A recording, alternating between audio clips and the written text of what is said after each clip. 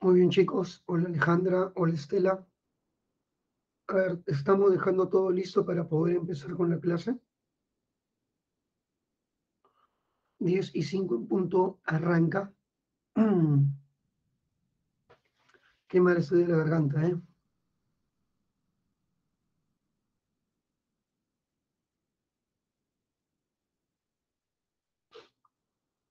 Qué mal de la garganta. Hola Daniela. Sí, Daniela. Ahí está.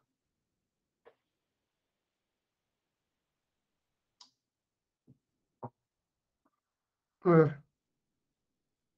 Buenos días con todos. Eh, ¿Se me escucha? ¿Se me escucha bien?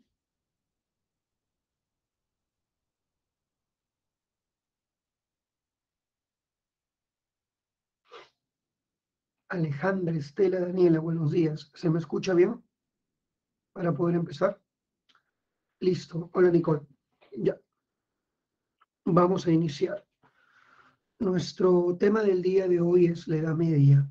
Hablaremos del medioevo, que se prolonga desde el siglo V, desde la caída de Roma de Occidente, hasta el siglo XV. ¿Qué pasó en el siglo XV? Se dio la caída del Imperio Bizantino. El Imperio Bizantino tenía por capital Constantinopla y con la toma de Constantinopla se concreta este suceso. Entonces, qué mal estoy con la garganta, ¿eh? Entonces, la Edad Media va desde el siglo V, desde la caída de Roma de Occidente, hasta el siglo XV, que es la toma de Constantinopla, son 10 siglos. El primer momento de la Edad Media, la primera etapa de la Edad Media, se llama Alta Edad Media. Durante la llamada Alta Edad Media, voy a escribirla, durante la llamada Alta Edad Media, el feudalismo se fue configurando. Es el periodo de configuración, de génesis, de origen del sistema feudal. Los eventos más importantes de la Alta Edad Media son los siguientes, las invasiones bárbaras, las invasiones germanas y la formación de los imperios medievales. Vamos a hablar pues del primer tema, que son las invasiones germanas, que se prolongan del siglo III al siglo V. Muy bien. Empecemos entonces. Primero, ¿qué son los bárbaros? El término bárbaro es un término creado por los griegos. Los griegos llamaban bárbaros a todos los pueblos que no formaban parte de su nación. Por si acaso, a la nación griega se le llama la Hélade. Y a los pueblos que no formaban parte de la Hélade se le llamaban, pues, bárbaros. Los romanos van a adoptar el término y le van a dar una connotación más geográfica. Para los romanos bárbaros son aquellos pueblos que habitan fuera de sus fronteras, más allá de sus, eh, más allá de sus límites imperiales. Por si acaso, la frontera romana recibe por nombre Limes, como pueden ver aquí. Más chiquito. El Limes es la frontera romana más allá de Limes están los llamados pueblos germanos, y los romanos llamaban bárbaros a todos los pueblos que vivían fuera de sus territorios, más allá de las fronteras, más allá de Limes. Estos pueblos no pertenecían a la raza latina, no eran latinos, por lo tanto no hablaban latín y tenían costumbres diferenciadas de la romana. Van a haber bárbaros en el norte de Gran Bretaña, en Europa de Oriente, en Asia, en la zona africana, pero los protagonistas de las invasiones, de las invasiones al imperio van a ser los germanos. Son los germanos el pueblo protagonista de este capítulo de la historia. ¿Dónde habitaban los germanos? Los germanos habitan entre dos ríos, entre el Rin y el Don. El Rin es un río que está en Alemania el Don es un río que está en Rusia. Así que los germanos habitan entre Alemania y Rusia. los pueblos germanos se van a lanzar contra el imperio romano entre los siglos III y el siglo V. ¿Cómo eran los germanos? Bueno, yo te digo que los germanos no pertenecían al grupo étnico romano. Los romanos son latinos, pero los germanos son indoeuropeos. Es la primera idea. Indo-europeo. También es conocido este grupo como la raza aria. Adolfo Hitler decía que la raza aria indoeuropea era la raza superior, hombres de metro con 80, 90, rubios, muy fornidos, muy fuertes. Bueno, los alemanes decían de que la raza aria indoeuropea era superior físicamente. Así son los germanos. ¿Cómo vivían los germanos? Vivían organizados en aldeas. Vivían en tribus, organizados en aldeas, por lo tanto tenían una vida rural. No vivían en grandes ciudades como los romanos, vivían más que nada en entornos rurales, vivían en pueblos aldeanos, vida rural. La base de su organización social es la tribu. Los germanos eran gobernados por una aristocracia guerrera. Sí, por una aristocracia guerrera. Eran gobernados por una élite guerrera, élite de guerreros. Dentro de esta élite guerrera germana habían diversos eh, cargos, diversas jerarquías. A la cabeza estaban los dux, también llamados duques. Después venían los carmalengos, llamados condes. También estaban los margraves, llamados marques o marqueses. Así que duque, conde, marqués son títulos jerárquicos del mundo germano. ¿eh? Tienen su origen en el mundo germano.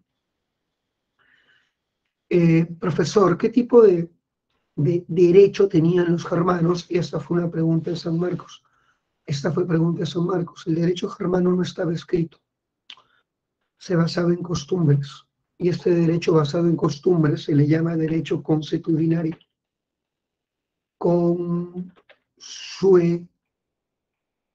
consuetudinario. Es un derecho que se transmite verbalmente por tradición oral y no está escrito. En el mundo germano, las mujeres podían heredar, podían iniciar procesos judiciales y hasta podían ser gobernantes. En el mundo romano y griego no, las culturas clásicas greco-romanas eran culturas misógenas, sentían cierto desprecio por la condición femenina, pero en el mundo germano no, las mujeres gozaban de una mejor condición jurídica, ciertamente. Muy bien. Después de haber entendido esto, debes saber que en el mundo germano, existen ciertas costumbres que van a ser introducidas a Occidente con sus invasiones. Son los germanos los que llevaron la costumbre de utilizar pantalón y botas, desplazando a la tradición romana de túnicas y togas, pantalones y botas. Son los germanos los creadores del jabón.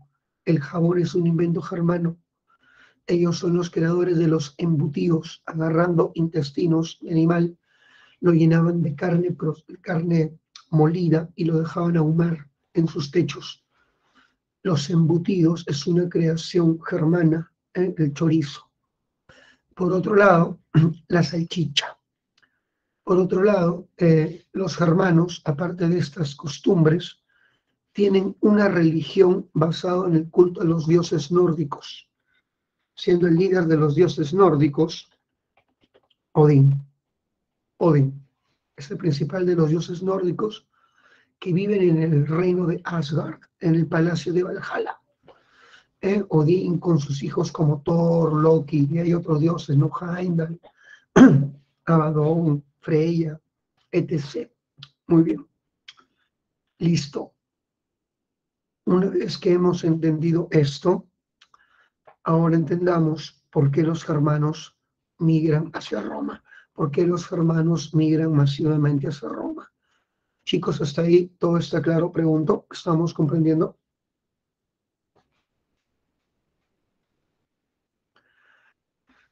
Lo van a desarrollar en épocas posteriores, épocas posteriores. Los pueblos nórdicos van a desarrollar la escritura rúnica, la escritura rúnica, ¿sí? Y sí van a tener escritura cuando se configuren en reinos. Ya los visigodos van a desarrollar eh, sus famosos códigos jurídicos conocidos como el fuero juzgo. Digamos que al comienzo de su historia, los germanos no utilizaban la escritura, pero cuando entren en contacto con las culturas occidentales van a ir estableciéndolas y adaptándolas, ¿ya? Pero inicio no, va a ser una práctica que surge con posterioridad, ya cuando se configuren en reinos. ¿Se entendió mejor, Germán?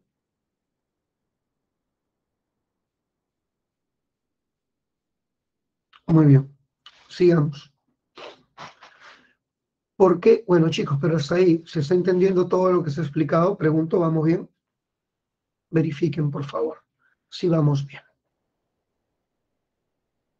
Ok. Gracias, Geraldine. Gracias, Axel. Los germanos van a emigrar a Roma al comienzo por un exceso de población. Hay una explosión demográfica en Germania. Al haber demasiada población, se rompe el equilibrio entre recursos y eh, demografía.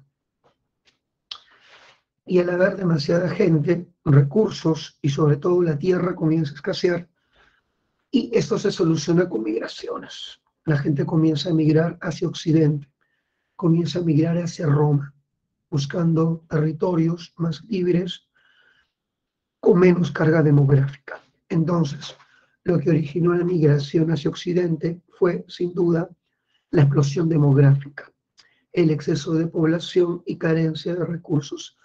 Eso se soluciona tradicionalmente con la, eh, con la migración. Muy bien. El siguiente factor que agudizó la migración fue el cambio climático del siglo IV. Eh, las temperaturas van a bajar considerablemente en la zona de Germania y en el norte de Europa. Pregunto, cuando las temperaturas bajan, ¿qué actividad económica es la más afectada? Escriban chicos, por favor, para estar viendo su capacidad de raciocinio en causa-efecto. ¿Qué actividad crees que es la más afectada cuando hay un descenso demográfico, cuando hay un descenso de las temperaturas? Muy bien, las actividades agropecuarias, la agricultura sobre todo. Y pregunto, al haber una depresión agrícola y al escasear los alimentos, ¿Qué pasa con los precios? Dígame, por favor. ¿Qué pasa con los precios? Suben, generando pobreza y hambrunas. ¿Y esto cómo se soluciona? Con la migración. Más pueblos migran a Occidente buscando tierras cálidas, cerca, cerca al Mediterráneo. Entonces la migración se agudiza por este cambio climático que genera una crisis agrícola una elevación de precios y hambrunas en Germania. Sin embargo, el factor más trascendente en estas invasiones fue la llegada de los hunos. Los hunos son un pueblo que vienen de las estepas de Mongolia, vienen del lejano oriente. Con una poderosa caballería, los hunos, que son arqueros a caballo, destrozan a los germanos en múltiples conflictos y los germanos van a verse presionados debido a la barbarie una. Son muy crueles. A sus enemigos les cosen la boca, les atraviesan los párpados con espinas, agarran metal derretido, y lo echan a las fosas nasales. Hablamos de un pueblo muy violento. ¿Y qué hacen los germanos? Pues ni modo, migrarán, huirán hacia Occidente huyendo de la violencia traída por los unos. Esta es la principal causa que explica la migración. Muy bien. El primer pueblo que decide huir masivamente hacia Occidente son los visigodos. Este pueblo llamado los visigodos, recuerda eso por favor, migra masivamente hacia, hacia Roma. Su rey, Fritigerio, pide autorización al emperador romano Valente para que le permita cruzar el limes o murallas. Y Valente le permite ingresar a cambio de entregar a sus hijos y sus armas. Y fue así como un millón de godos aproximadamente ingresan a Roma al mismo tiempo. Así que te pregunto, ¿esta migración goda en un comienzo fue violenta o pacífica? ¿Tú qué marcarías? ¿Tú qué marcarías? La migración goda hacia Roma al comienzo fue violento o pacífica. ¿Tú qué marcarías? Muy bien, fue pacífica. Sin embargo, los godos dentro de Roma van a ser humillados, explotados, van a tener un nivel de vida miserable, morían defendiendo las fronteras, pero sus sueldos eran ridículos. La comida que debía llegar a las tropas godas era desviada por generales corruptos para promover sus propios negocios. Es así como los godos, muertos de hambre, tenían que recurrir a prácticas humillantes como comer animales domésticos, vender a sus hijos como esclavos o prostituirse por comida. Es así como se van a rebelar, se van a sublevar. En el siglo IV, en el año 378, los godos se van a rebelar iniciando una gran insurrección. Atacaron la ciudad romana de Adrianópolis.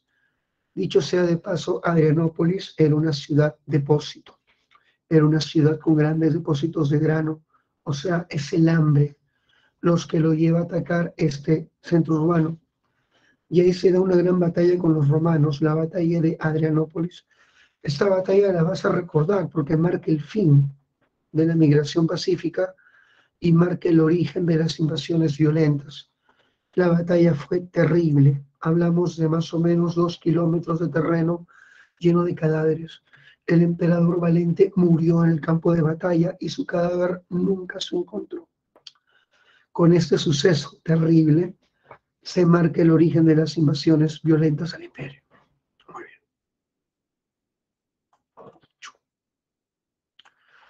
Hasta ahí, ¿todo claro, chicos? Pregunto, ¿vamos bien?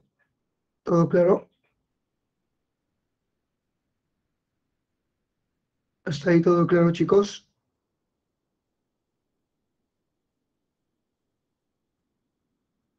Muy bien. Debes saber que los visigodos saquean Roma en el año 410. Después de saquear Roma, los godos van a establecerse en occidente se van a establecer en la península ibérica, formando el primer reino germano en occidente, el reino visigodo. Compartirán la península ibérica con otro pueblo llamado los suevos. Es así como se configura el primer reino germano en occidente, el reino visigodo. Con el tiempo, más grupos germanos cruzan el Limes para establecerse en Roma. Los francos se van a establecer en lo que actualmente viene a ser Francia, territorio llamado en la época romana las Galias. Los francos se establecen en las Galias, actual Francia. Los burgundios se establecen en la zona sur de lo que actualmente es Francia. Hay una tierra llamada Borgoña. Hay una tierra llamada Borgoña.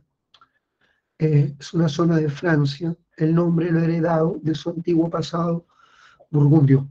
La tierra de Borgoña, la tierra de los burgundios. Muy bien, se van a establecer los anglosajones en las islas británicas y el reino vándalo en el norte de África. Así se establece esta configuración de pueblos. ¿eh? Roma ya no era ni la sombra de lo que fue. Debes saber de que los unos, que era el pueblo más bravo, decidieron cobrar cupos de guerra al Imperio Romano de Oriente. El Imperio Romano de Oriente no fue atacado por los unos simplemente porque les pagaban mil kilos de oro anual, pagaban cupos para que estos pueblos dejen tranquilos sus ciudades. Y toda la violencia se desvió hacia Occidente. Muy bien. Finalmente, en el año 476, en el año 476, el último emperador romano de Occidente, llamado Rómulo Augustulo, Rómulo Augustulo caerá, caerá. Rómulo Augustulo cae, derrotado por un general germano también llamado Odoacro. Odoacro, general germano, rey de un pueblo llamado los Érulos, termina derrotando al último emperador romano de Occidente, Rómulo Augustulo, que era un niño que tenía 12 años. Te pregunto, si una criatura de 12 años está dirigiendo lo que fue el imperio más grande del mundo, significa que el título imperial ya no valía nada. Ya nadie quería ser emperador. Los emperadores eran puestos y depuestos por los militares y caudillos que pugnaban por el poder. Y uno de estos caudillos hermanos, Odoacro, derrotó a este pequeño, poniendo fin a lo que alguna vez fue el imperio más grande de la humanidad. Muy bien. Ha desaparecido Roma de Occidente. Un alumno me podría decir, profesor, yo he escuchado de un tal líder bárbaro, el bárbaro más temido de su época, que era el rey de los unos. Sí, el bárbaro más terrible de su época fue Atila, rey de los unos, llamado el azote de Dios por San Agustín, destruyó un promedio de 100 ciudades en Occidente. Hablamos de un rey extremadamente violento. Fue sin duda alguna, por mucho tiempo, la peor amenaza sobre Roma. Pero bueno, una vez que desapareció el imperio romano de Occidente, se configuran los reinos germanos. Aquí están los reinos germanos. El visigodo, el franco, el anglosajón. En Italia se van a establecer los ostrogodos y el vándalo. El reino vándalo es un famoso reino dedicado a la piratería. Van a ser el azote de las islas y los pueblos del Mediterráneo. Se van a establecer en el norte de África, actual Túnez, los vándalos, los piratas de Occidente a inicios de la Edad Media. Por otro lado, debes saber de que los germanos introducen sus costumbres, bota, pantalón, embutidos, entre otras cosas, y los germanos van a combinar su lengua con el latín, surgiendo las lenguas romances los visigodos forjarán el castellano, los ostrogodos el italiano, los francos el francés, y así se van forjando estas lenguas. De todos los reinos hermanos, el primero en convertirse al cristianismo fue el reino franco. El reino franco fue el primer reino germano en convertirse al cristianismo. Su rey llamado Clodoveo, van a recordar, Clodoveo, rey de los francos, fue el primer rey germano, como se ve aquí, mira, Clodoveo, en convertirse a la fe cristiana. ¿Y qué hizo los francos cuando los francos comenzaron a expandirse, como se puede ver en este mapa? ¿Sí? Comenzaron a propagar el cristianismo. Así que los bárbaros adoptan el cristianismo y una vez conversos promueven su propagación a través de sus campañas de expansión. Los germanos van a implementar su modelo económico, van a comenzar a implantar su modelo económico basado en la vida rural. Todo Occidente se llena de aldeas, las grandes ciudades son abandonadas, despobladas, la gente comienza a concentrarse en el campo. Y a este fenómeno se le llama ruralización de la sociedad. Obviamente la economía también se afecta si la sociedad está en un proceso de ruralización, o sea, la gente se está yendo al campo, la economía se va a volcar sobre las actividades agropecuarias. Una cosa importante de los pueblos germanos es que van a introducir un principio jurídico occidente, el derecho de herencia por sangre. ¿En qué consiste este derecho? Es la tradición que obliga a una familia a dividir el patrimonio, su patrimonio, entre el número de herederos. O sea, si una familia tiene 10 hijos, tendrá que dividir el patrimonio entre los 10. Entre los 10. Este es el sistema de herencia germano llamado derecho de herencia por sangre. En el mundo romano solamente heredaba una persona el patrimonio de una gens, de una familia linaje latino. En el mundo romano, la gens heredaba todo su patrimonio a una persona. En el mundo germano se divide entre el número de hijos. Nosotros hemos adoptado el patrón germano de herencia. ¿eh? El patrón germano de herencia. Muy bien. Hijo mío, se acabó el tema de las invasiones bárbaras. Pasemos al imperio carolingio. Pero hasta ahí, hijo mío, todo está claro. ¿Todo está claro? Pregunto.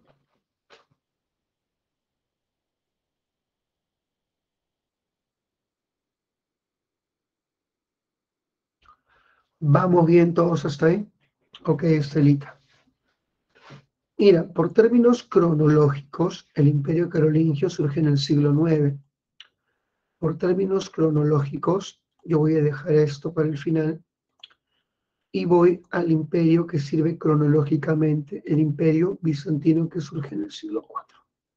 Por términos cronológicos, empiezo con el imperio bizantino, ¿les parece? ¿Sí? Claro que sí, claro que sí.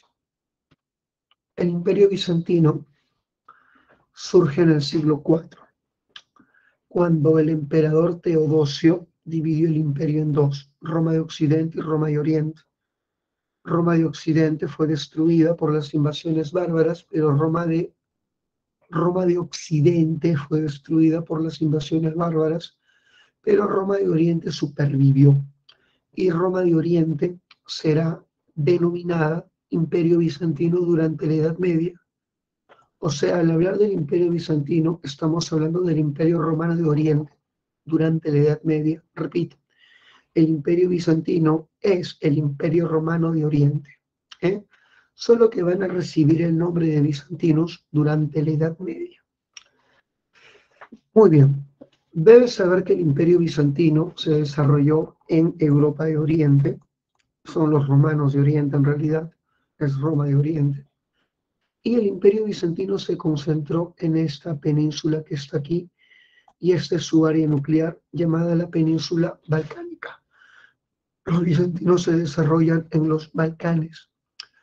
Su capital es una ciudad esplendorosa llamada Constantinopla. Constantinopla, por su estratégica posición, mira por Dios dónde está ubicada. Un poquito más grande.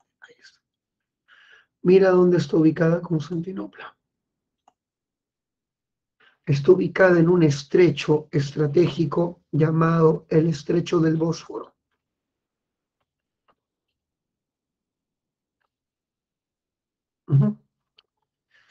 Este estrecho, si te das cuenta, conecta zonas estratégicas. El estrecho del Bósforo conecta el Mar Negro con el Egeo, lo que le da salida a los barcos bizantinos al Mediterráneo conecta los Balcanes con Asia Menor. Asia Menor es un granero, es una zona de gran producción de cereales. Así que Constantinopla está en una encrucijada de caminos. Pregunto, si su posición es tan buena, ¿cuál será la base de su economía? Hijo mío, te pregunto. Si su posición es tan buena, ¿cuál será la base de su economía? El comercio internacional. Acá tenemos una vista panorámica de Constantinopla la ciudad estaba rodeada por agua, con excepción de un lado, protegido por los grandes muros de Teodosio. Había un barrio en la zona asiática llamado el barrio de la Pera. La ciudad estaba completamente murallada. La ciudad conectaba Europa con Asia, conectaba Europa y Asia.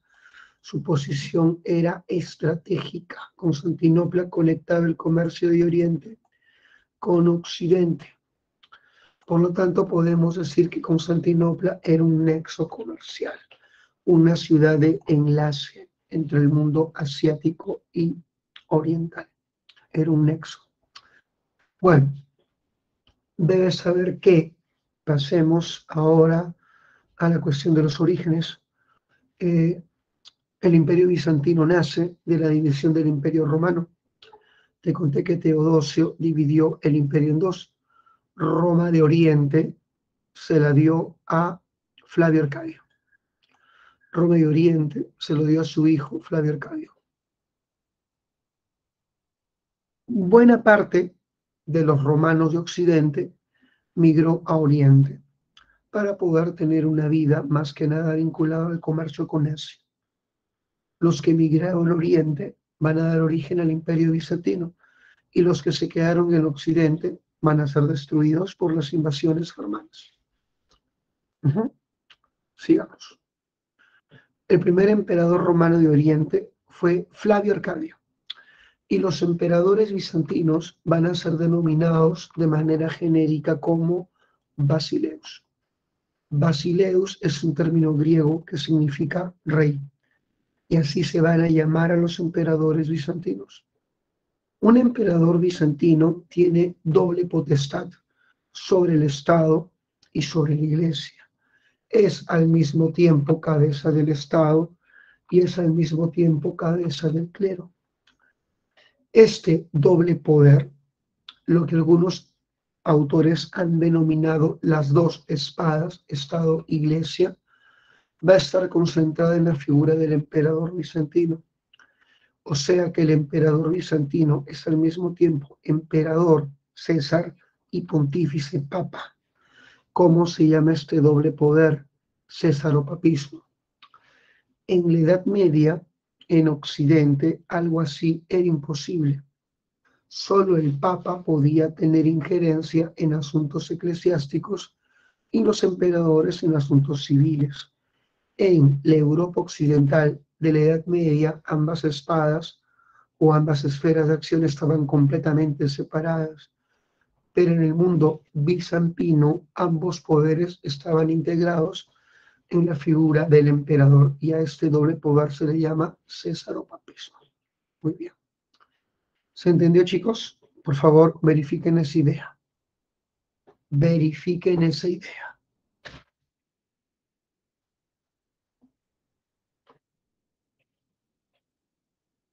Muy bien. Culturalmente hablando, debes saber de que los bizantinos se caracterizan por el sincretismo que implica fusión de distintas tradiciones culturales.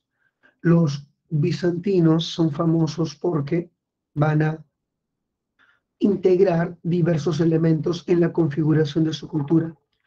Ellos son romanos étnicamente hablando, pero hablan griego y han asimilado muchas costumbres griegas, sobre todo en el plano filosófico e intelectual. Pero como hay mucha gente de Asia viviendo en Constantinopla, en Constantinopla había un barrio árabe, persa, un barrio armenio, un barrio judío. Como había tantos pueblos de Asia viviendo en Constantinopla, los bizantinos van a adoptar esos elementos orientales. Se visten como asiáticos, escuchan música oriental, ¿eh? su comida es de oriente. Así que los bizantinos son una fusión, una síntesis de tradiciones griego, romanas y orientales. Son como los peruanos. Nosotros los peruanos tenemos elementos andinos, amazónicos, tenemos elementos hispanos traídos por la conquista, elementos chinos como el chaufa traída por la migración asiática, elementos afros como el festejo, ¿eh? Eh, los picarones, eh, los anticuchos de la población afrodescendiente y ahora elementos incluso japoneses, las niseis, incluso este, venezolanos, ya con la migración. Todo esto transforma a la población.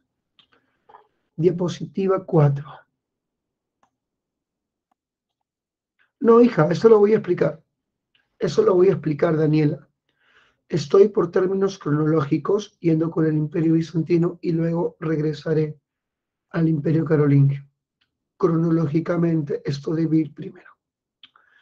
El más grande emperador bizantino de la historia fue Justiniano, este emperador llevó al imperio a su máxima expansión y Justiniano se casó con una mujer que conoció en un burdel. Se casó con Teodora. Teodora era la más grande emperatriz bizantina, la mujer más influyente dentro de este imperio. Era la consorte, consejera, podríamos decir que eran una pareja de gobernantes Justiniano siempre consultaba sus decisiones con Teodora. Eran como la pareja presidencial, ¿eh? término acuñado por Alan García para hacer referencia a Humala y Anadín. Bueno, Teodora era como Anadín heredia de Constantinopla. Muy bien. Una vez que hemos entendido Justiniano, inició su primera campaña de expansión para aplastar al reino vándalo. El reino vándalo fue devastado y conquistado en el año 534 a.C. El general que logró esta victoria aplastante sobre los vándalos fue el general Belisario, el más grande estratega bizantino. Y luego otro gran general llamado Narses, que era un hombre bastante mayor, un hombre casi de 80, octogenario, logró vencer a los ostrogodos acabando con su último caudillo, Totila, Totila. Lo vence y el reino ostrogodo es anexado al imperio carolingio, incluso los, perdón, es anexado al imperio bizantino. Incluso los bizantinos llegaron a tener influencia sobre el sur de la península ibérica llegando a tener su máxima expansión, algo logrado por Justiniano. Justiniano quería restablecer el imperio romano, quería reconquistar Occidente. Todo gran emperador tiene que tener grandes obras públicas y mira esta maravilla de la arquitectura hecha por Justiniano.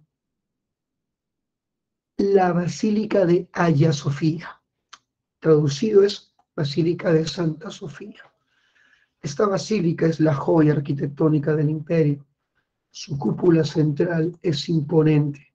Tiene dos semicúpulas, estos minaretes o grandes torres. Tiene una planta de estilo griego y la decoración interna de esta estructura imponente está basado con este tipo de arte donde los bizantinos lograron gran maestría, el mosaico. El mosaico es un tipo de arte donde las grandes obras se realizan a través de pequeñas piezas integradas. Estas piezas se llaman teselas, que pueden ser de, de cerámica, piedras semipreciosas, incluso oro y plata. Integradas estas piezas se configuran estas obras. Si tú le haces zoom, te vas a dar cuenta de que son zoom de pintura, son un montón de pequeñas piezas unidas como si se tratase de un rompecabezas gigante. Esta obra se llama mosaico, mosaico. Si te das cuenta, toda esa parte dorada está hecha de oro, oro cortado en pequeñas piezas e integrados para formar estas extraordinarias composiciones.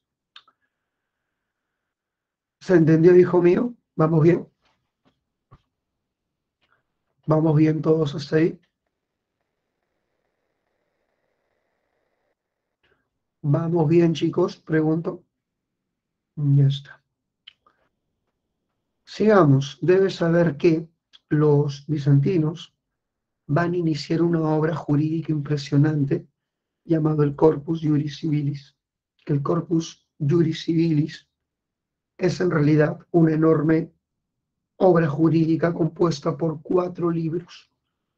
¿Cuáles son los libros del Corpus Juris? El primer libro se llama Codex y el códex es la recopilación del derecho romano. Repito, el códex es la recopilación del derecho romano.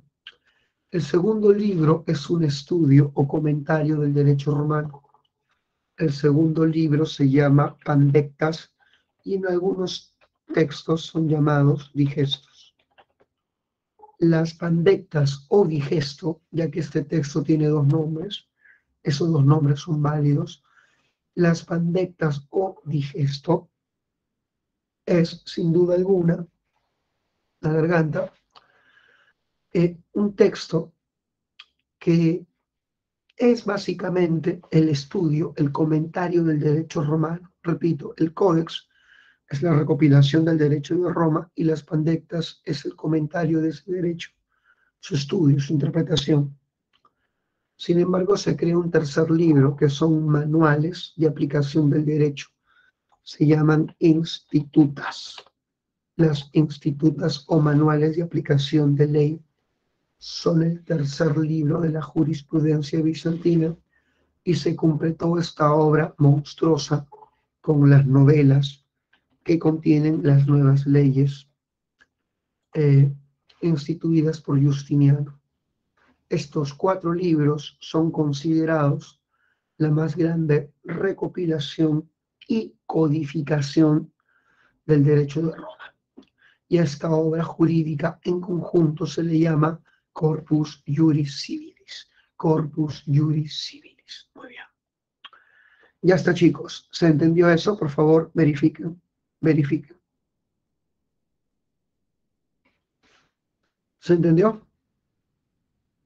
Fácil, Estela, vas a decir. El Corpus Juris Civilis es la más grande obra jurídica bizantina.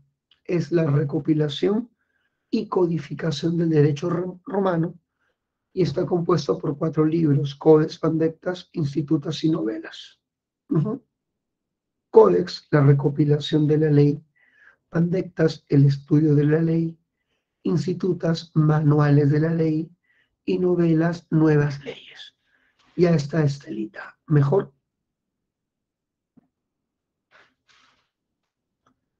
Está mejor, hijita. Fue una retro veloz y violenta. Listo. Ahora pasamos a las cuestiones religiosas. Los bizantinos eran católicos hasta el siglo XI. En el siglo XI los bizantinos rompen con la iglesia, rompen con la iglesia católica en, en un suceso llamado cisma de Oriente. La palabra cisma sirve para hacer referencia a los procesos de ruptura dentro de una religión se da una cisma ahí donde hay un proceso de ruptura dentro de una fe. La cisma de Oriente es el proceso de ruptura dentro del cristianismo, el cual se separa en dos, iglesia católica en Occidente e iglesia ortodoxa en Oriente. ¿Por qué ambas iglesias van a romper? Primero por sus diferencias culturales en Oriente y Occidente habían tremendas diferencias culturales. Y segundo, por la disputa entre sus obispos. El obispo de Occidente, el más influyente, es el Papa. Y el obispo de Oriente, el obispo de Constantinopla, se llama patriarca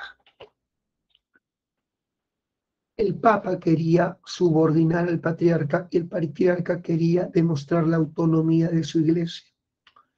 Cuando el Papa daba una orden, el patriarca la rechazaba para demostrar la autonomía de la iglesia oriental. Me explico con un ejemplo. El Papa le dijo al patriarca, vas a colocar la imagen de la Virgen María en la Basílica de Santa Sofía. ¿Y qué dijo el patriarca? Ñanga, ¿ya? ni de vainas.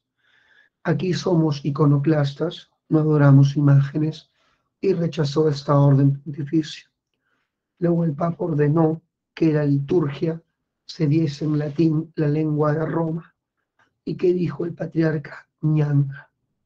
Yo voy a dar la liturgia en griego, que es la lengua de Oriente. Y por una tontería van a terminar rompiendo. El Papa ordenó de que el Papa ordenó de que eh, el pan utilizado en la Eucaristía el pan ácimo, el pan sin levadura, y el patriarca a propósito dijo, acá vamos a meterle harta levadura en el pan, si es posible, o sea, la hostia, pues no, voy a hacer un pionón en vez de hostia, y finalmente al Papa le llegó y lo excomulgó. ¿Qué significa excomulgar? Lo expulsó de la iglesia. Y el Papa no aceptó su excomunión, y, perdón, y el patriarca no, no aceptó su excomunión, y el patriarca expulsó al Papa. Esto terminó en una mutua excomunión, rompiéndose la relación entre la iglesia occidental y oriental, y a la iglesia de Oriente se le llama iglesia cristiana, cristiana ortodoxa. Iglesia Cristiana Ortodoxa. Muy bien. ¿Se entendió, chicos, este conflicto religioso? Muy bien, ya está.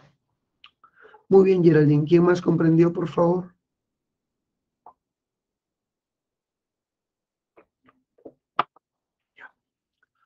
Sigamos.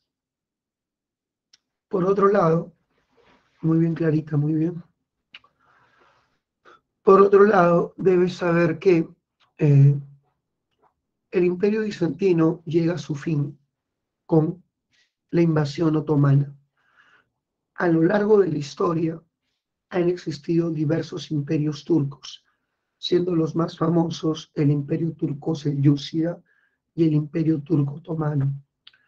La destrucción del imperio bizantino estuvo en manos del imperio turco otomano este imperio que surge en torno al siglo XIII comenzó una enorme política de expansión y para el siglo XV están atacando Constantinopla. Los turcos son gobernados por monarcas, por líderes llamados sultanes, y el sultán turco llamado Mehmed II, II, ataca Constantinopla en el año de 1400 53, este sultán joven quería triunfar ahí donde muchos de sus predecesores habían fracasado. Más de 24 ejércitos habían intentado tomar Constantinopla y todos habían fracasado miserablemente. Él se convierte en el sultán que destruye los muros de la ciudad utilizando una nueva arma, la artillería, la gran bombarda turca un cañón monstruoso de nueve metros. Alucina un cañón de nueve metros, por Dios, las bolas de cañón pesaban 80 kilos cada una, era una monstruosidad. Destruyeron los muros y finalmente la ciudad fue tomada por la guardia turca. Los terribles genízaros turcos tomaron la ciudad. El último emperador bizantino, porque cae el imperio bizantino, aparte de los otomanos. Bueno, en realidad el imperio bizantino cae en buena parte por sus intrigas internas, las intrigas de la corte. Eh, en realidad el momento que marcó su declive fue la pérdida de Asia Menor. Antes que surjan los otomanos, estima de Estela, otro imperio turco, el Selyúcida, les quitó Asia Menor en la batalla de Masincar al perder Asia Menor, el imperio bizantino perdía su más grande abastecimiento de grano. Así que la pérdida de Oriente a manos de los selyúcidas, el avance de otros reinos en los Balcanes, como los búlgaros, los serbios, y las intrigas internas hicieron que este imperio pierda hegemonía y los otomanos le dan el golpe final. Mejor Estela. mejor.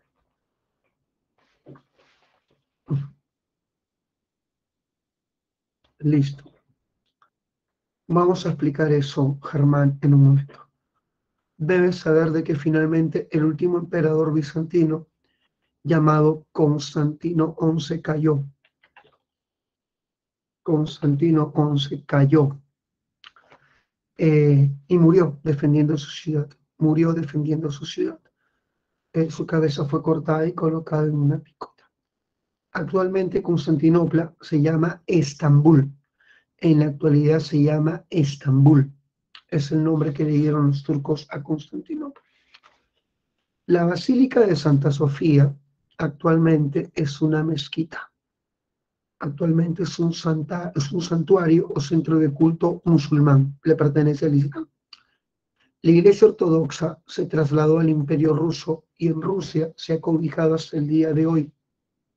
La Iglesia Ortodoxa es muy influyente en Rusia y es una iglesia muy tradicionalista. Rusia es uno de los países con menores libertades para las minorías sexuales por la enorme tradición de su iglesia. ahí la homosexualidad es perseguida y vilipendiada de manera brutal. ¿eh? De manera brutal. Los turcos eran al comienzo la guardia, una guardia militar al servicio de los califas. Los califas tenían a la guardia turca a su disposición. Los turcos adoptan el Islam y a estos generales turcos se les llamaba sultanes. Con el tiempo los sultanes derrotan, deponen a los califas y se hacen con la dirección del mundo musulmán. Ya está Estela, ahí está tu respuesta. Muy bien. Pasemos al imperio musulmán. Muy bien. Se desarrolla en el siglo VII. Atención con esto. Pero chicos, hasta ahí todo está claro, pregunto, todo está claro. Muy bien, Camila.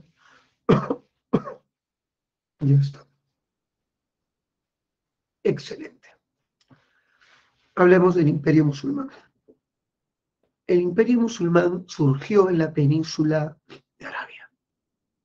En la península de Arabia. Ya está. El imperio musulmán, hijo mío, surge en esta península y debes saber que esta península en su mayor parte es un territorio desértico. Ahí se va a jugar el mundial donde no vamos a estar. Qatar se encuentra por acá. Qué dolor, no lo supero, no lo supero. No lo supero, maldición. No lo supero, no lo creo.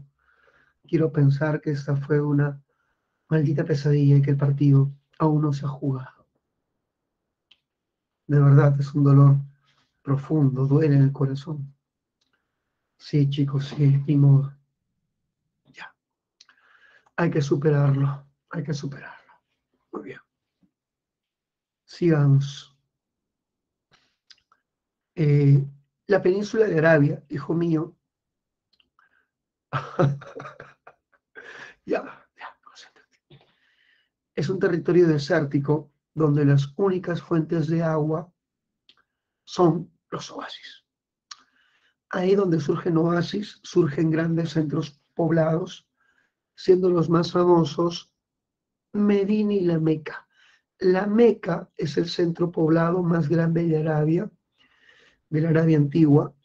La Meca era el centro comercial y el centro de peregrinación del mundo árabe por excelencia. En la Meca había un santuario que tenía el aspecto de un cubo negro. El santuario de la cava, como se puede ver en esta imagen, tiene el aspecto de un cubo negro. En este santuario, por si acaso, cava significa cubo. En este santuario se adoraba a Alá, pero el culto a Alá estaba acompañado por culto a un montón de dioses menores. Esos dioses menores eran 300 y se llamaban los fetiches. Así que al comienzo el pueblo árabe era, hijo mío, politeísta. Se adoraba a Alá y a múltiples dioses menores. ¿Cómo vivía la población árabe?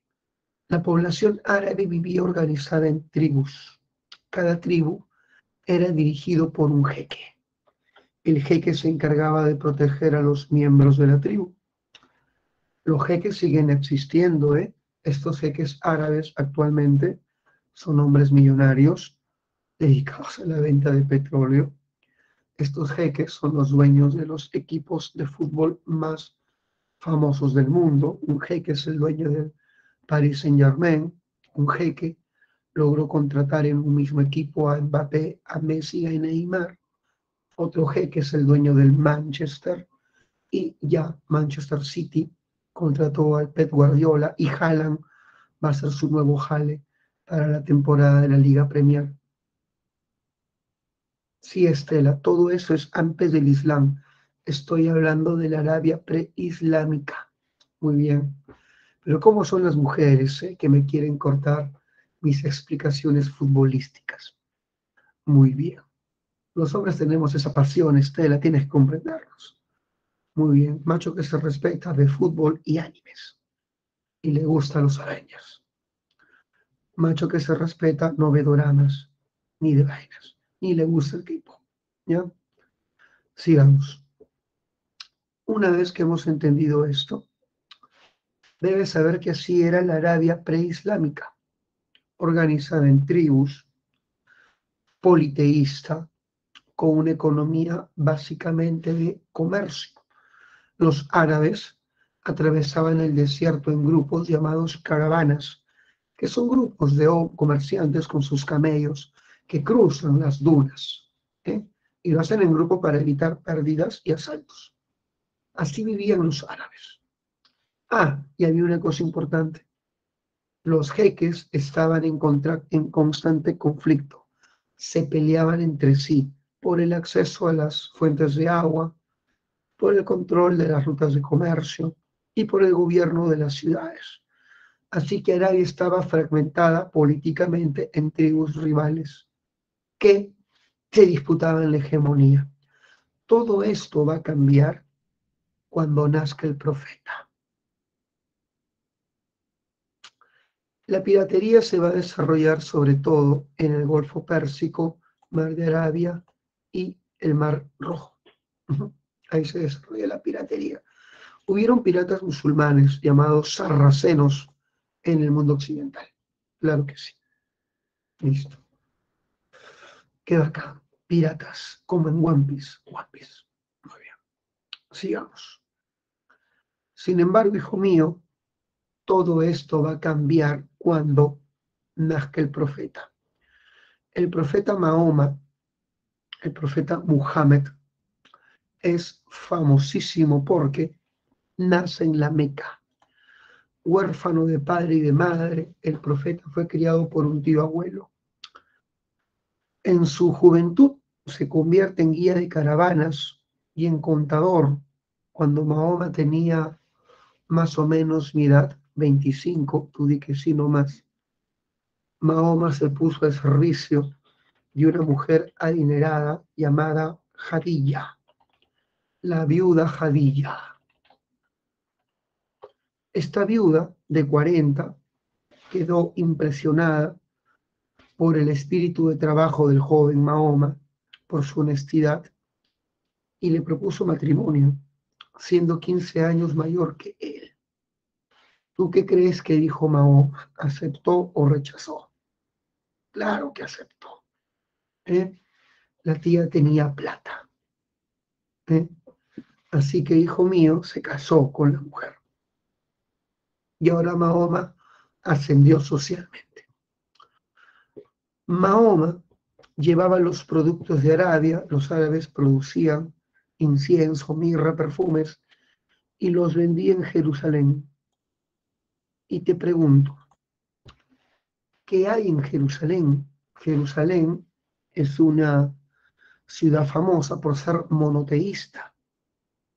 Cristianos y judíos van a tener mucho impacto en el profeta Mahoma y el, monoteísmo judeo-cristiano influencian en el profeta para que éste cree una nueva religión. Y su nueva religión será el Islam.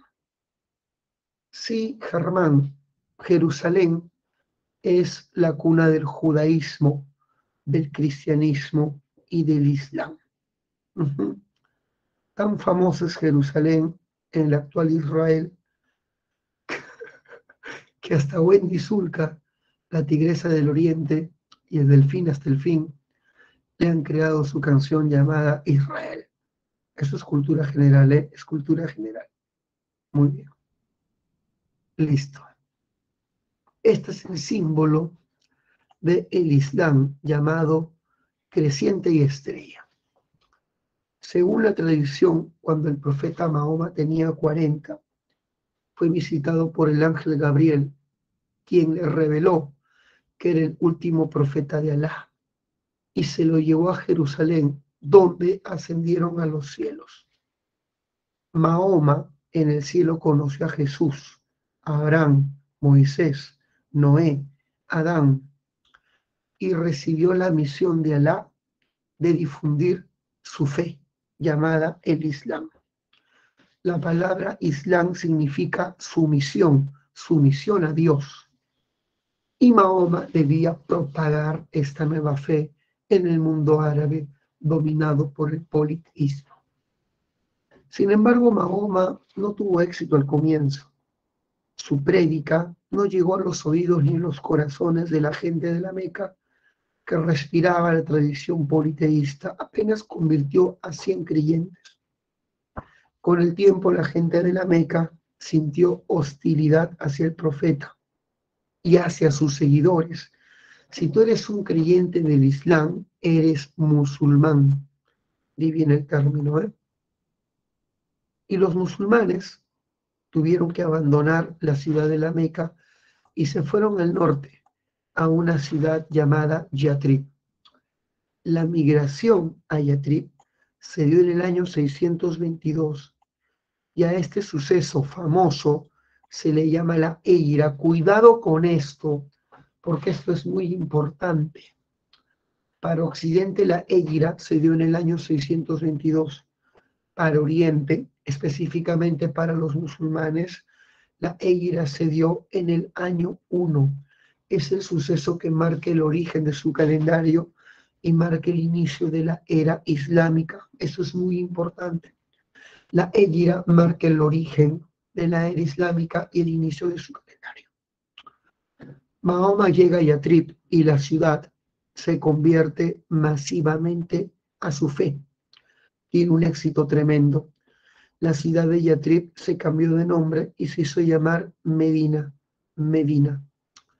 Medina es Yatrib, solo que Medina es su nombre tras convertirse al Islam. La palabra Medina viene del término Medina al-Nabi, que significa ciudad del profeta. Cuando Mahoma tenía muchos seguidores, se lanzan sobre la Meca para conquistarla. Era una lucha entre una ciudad musulmana versus una ciudad politeísta. Qué mala suerte, chicos, comenzaron construcciones obras al lado. Espero no se escuche, o si se escucha. ¿Se escucha el taladreo, chicos? ¿No? Bueno, qué suerte por ustedes, ¿eh? Yo sí escucho el taladro. Bueno, eso vas a sentir más tranquilo. Solamente voy a concentrarme. Yo me distraigo al toque. Ya. Concentración. Yuxu de concentración. Y ahora sí, escuchen. Deben saber que Mahoma invadió la Meca, sometió la Meca en la batalla de Bard. Y después de vencer la Meca en la batalla de Bard, voy a colocar batalla de Bard,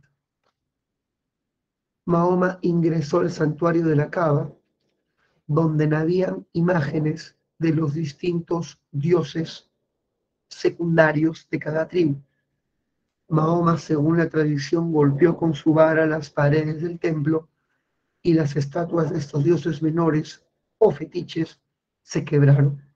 Mahoma purificó el templo y anunció que a partir de ese momento sería la casa de culto del único y verdadero Dios que es Alá.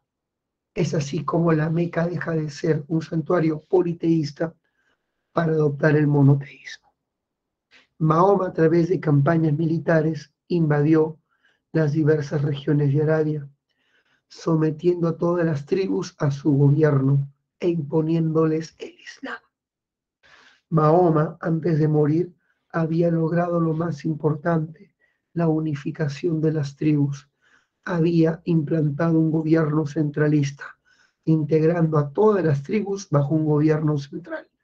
Esa es la importancia de Mahoma políticamente hablando. Fue el unificador de Arabia y religiosamente hablando fue el creador del Islam. Chicos, ¿se entendió? Por favor, verifiquen.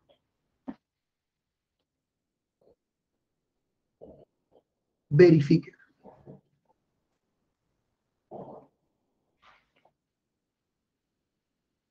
¿Se entendió eso, chicos? Verifiquen, por favor. Muy bien, Clarita. Excelente, Ángela. Muy bien, Helen. Muy bien, Clarita. Acá tenemos una hegemonía femenina, ¿eh, chicos? ¿Dónde están los varones? ¿Dónde están los varones? Muy bien.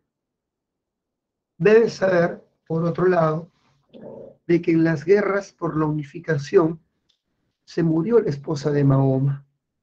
Mahoma se casó con siete mujeres, así que en el mundo árabe hay poligamia. Se permite que un hombre tenga muchas mujeres siempre y cuando tenga recursos para mantenerlas. Pregunto, pregunta general, ¿en el mundo andino había poligamia? ¿Verdadero o falso? En las culturas prehispánicas del Perú, verdadero, el señor de Zipán fue enterrado con sus múltiples esposas. Huayna Capac tenía 500 concubinas, así que es una tradición andina que debemos recuperar para poder restablecer parte de nuestra identidad perdida. Muy bien. Bromita, ¿eh? Bromita, bromita, bromita, bromita. Muy bien. Sigamos. Debes saber que, hijo mío, eh, Mahoma se casó con siete mujeres. Su mujer más jovencita tenía nueve años, ¿sí? Nueve años y se llamaba Aixa. En Arabia las mujeres se casan muy jóvenes para tener la mayor cantidad de hijos. Mahoma se casó con la muchachita, no tanto por la niña, ¿eh? Se casó porque quería tener parentesco con el papá de la niña que era el hombre más rico de Arabia, el más grande comerciante, Abu Bakr. Abu Bakr, así se escribe. Y cuando Mahoma se murió, será su suegro, Abu Bakr, el que lo suceda. ¿Cómo se llamaban a los sucesores de Mahoma? A los sucesores del profeta, y recuerda que su primer sucesor fue su suegro, a los sucesores del profeta se les llaman califas. La palabra califa significa sucesor. Y estoy seguro que has escuchado esa palabra. Tenemos a Wiz Khalifa, un famoso rapero. ¿eh? Muy bien. El califa es el jefe político y religioso del Islam. Después del califa viene su consejero ministro llamado el gran visir es como el canciller, es como el primer ministro. Cada provincia será gobernada por un balí y una provincia se llama baliato porque será gobernada por un balí. Esta es la organización política del mundo musulmán, sus funcionarios, su burocracia. Ahora pasemos a la organización de los califatos. Existen tres califatos, ortodoxo, omeya y abasi. El califato ortodoxo tuvo por capital la ciudad de Medina. El califato Meya tuvo por capital Damasco en Siria y el califato abásida tuvo por capital Bagdad. Así que son tres dinastías de califas, son tres capitales. Los califas ortodoxos inician la expansión invadiendo tres territorios qué territorios son los invadidos por los ortodoxos, los que voy a marcar aquí, este, este y este. Invadieron Egipto, Siria y Palestina. Los califas ortodoxos inician la expansión sobre tres territorios, Palestina, Siria y Egipto. Así comenzó la expansión del mundo árabe musulmán. Sin embargo, los califas ortodoxos van a ser vencidos por un golpe de Estado, ¿sí? Los Omeya, todo es después de Cristo, claro que sí, no. Los Omeya, una familia poderosa de la Meca, preparan un golpe para derrotar al último califa ortodoxo llamado Ali, que era primo de Mahoma. Derrotan a Ali y a través de este golpe de Estado llega la dinastía Omeya que trasladó la capital a Siria, a la ciudad de Damasco. Aquí está la nueva capital. Y debes saber que los musulmanes comienzan su mayor campaña de expansión, invadiendo los territorios que se pueden ver aquí. Invaden la zona noroccidental de África llamada Magreb. Actualmente Magreb vendría a ser Túnez, Argelia, Marruecos. Después de esto los árabes invaden España, la península ibérica. Los turcos aparecen en la dinastía Abbásida Estela. Abbásida. Los turcos básicamente tienen importancia a partir de la dinastía Abbásida Estelita. Son los guardias de los califas Abbásida. Muy bien. Estela está obsesionada con los turcos, ¿eh? Ves mucha novela turca, Estelita. Muy bien, Fatmagul, Cherezade, el sultán, la esposa joven. Obviamente yo no veo esas cosas, ¿eh? Muy bien, sigamos. Debes saber que se invade Magreb y luego se invade la península ibérica derrotando a los visigodos. Los visigodos van a ser vencidos en la batalla de Guadalete. Repito, en la batalla de Guadalete se derrotan los visigodos y los musulmanes van a llamar a toda la península ibérica al Andaluz.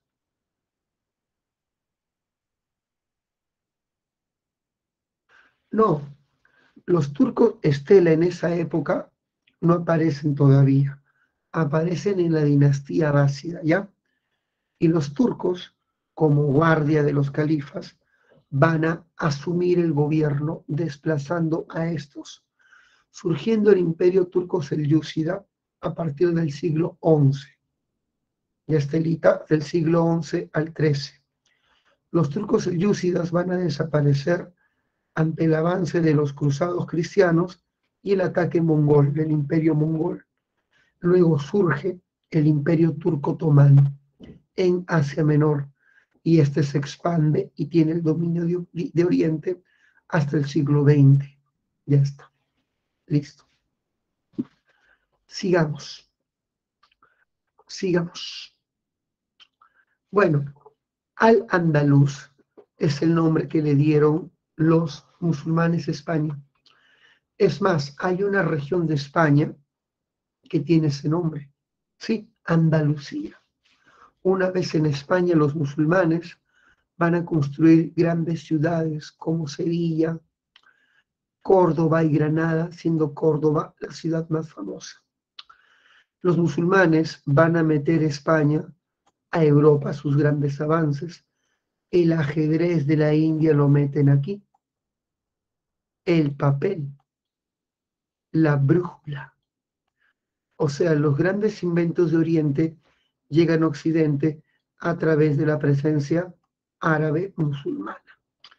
Incluso los árabes van a meter su lenguaje a España, a la península ibérica. Muchas palabras del castellano tienen origen en términos árabes, como la palabra ojalá. Cuando tú dices ojalá, estás invocando Alá. Ojalá, quiera Alá, ¿eh? lo propicie Alá. Muy bien. Otras palabras famosas son alcalde, que viene de la palabra alcázar, es castillo, guardián de castillo, alcalde. Aljib, de viene la palabra álgebra, que significa reducción, alfajor, eh, alforja, albaricoque, eh, alcohol, son palabras de origen árabe. Ya está. Chicos, hasta ahí se va comprendiendo todo. También, muy bien, Linor, también. Ibiza, que es el nombre de una isla que está al sur de la península ibérica. Y está. Hijo mío, por otro lado, debes saber que los omeyas van a ser vencidos también por un golpe de Estado.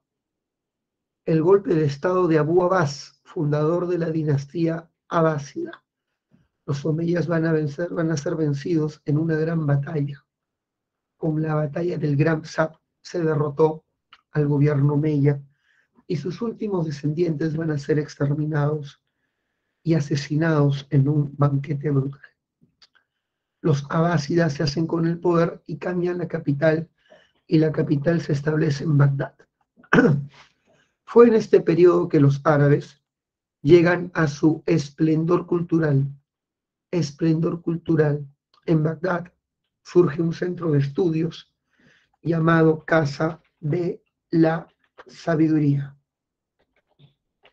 Y en la Casa de la Sabiduría de Bagdad, en la Casa de la Sabiduría de Bagdad, ¿sí? Eh, en la Casa de la Sabiduría de Bagdad, se traducían los grandes textos clásicos al árabe. Cuando digo texto clásico, hijo mío, ¿qué viene a tu cabeza?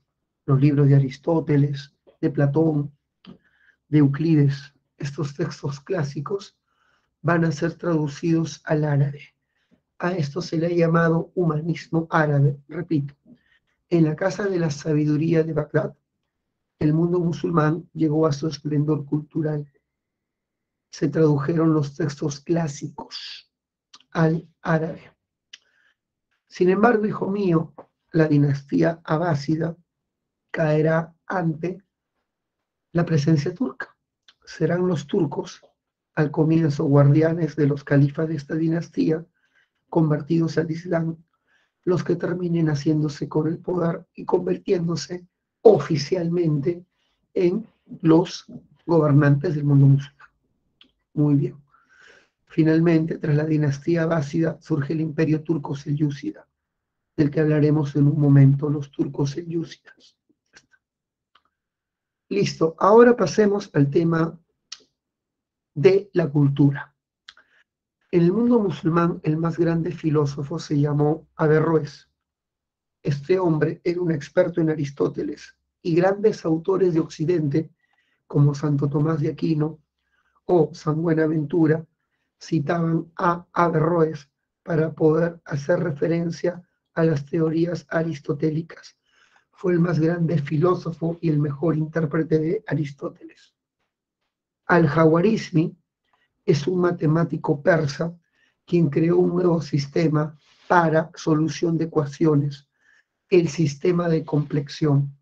¿Cómo se dice complexión en árabe? Al-Jrib.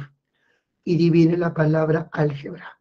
Su obra cumbre es compendio de cálculo por, la, por el método de complexión surgiendo así el álgebra. Sí, los musulmanes son los padres del álgebra. ¿Ustedes alguna vez han visto un libro de Baldor? ¿Han visto los textos de Baldor?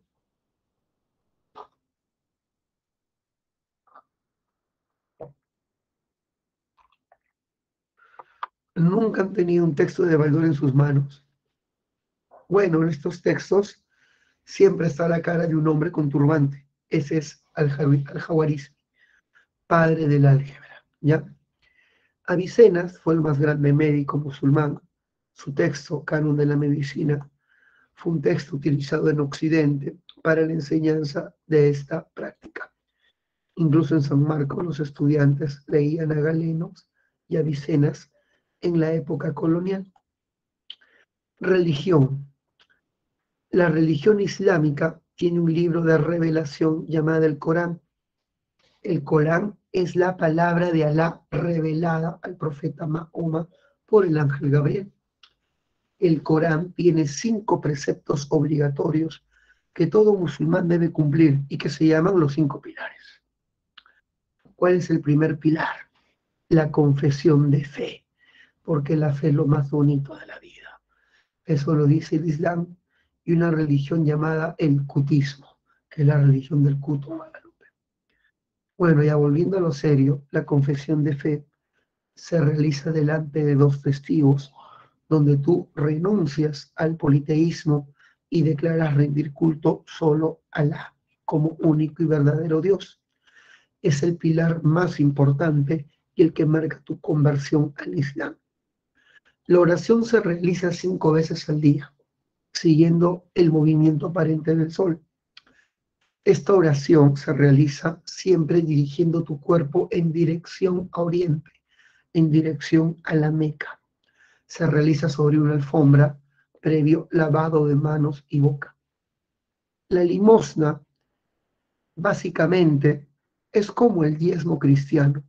La limosna musulmana es mucho menor, la 42 parte de tus ingresos, y la limosna sirve para mantener básicamente huérfanos, viudas, eh, ya que el profeta fue huérfano y se casó con una viuda.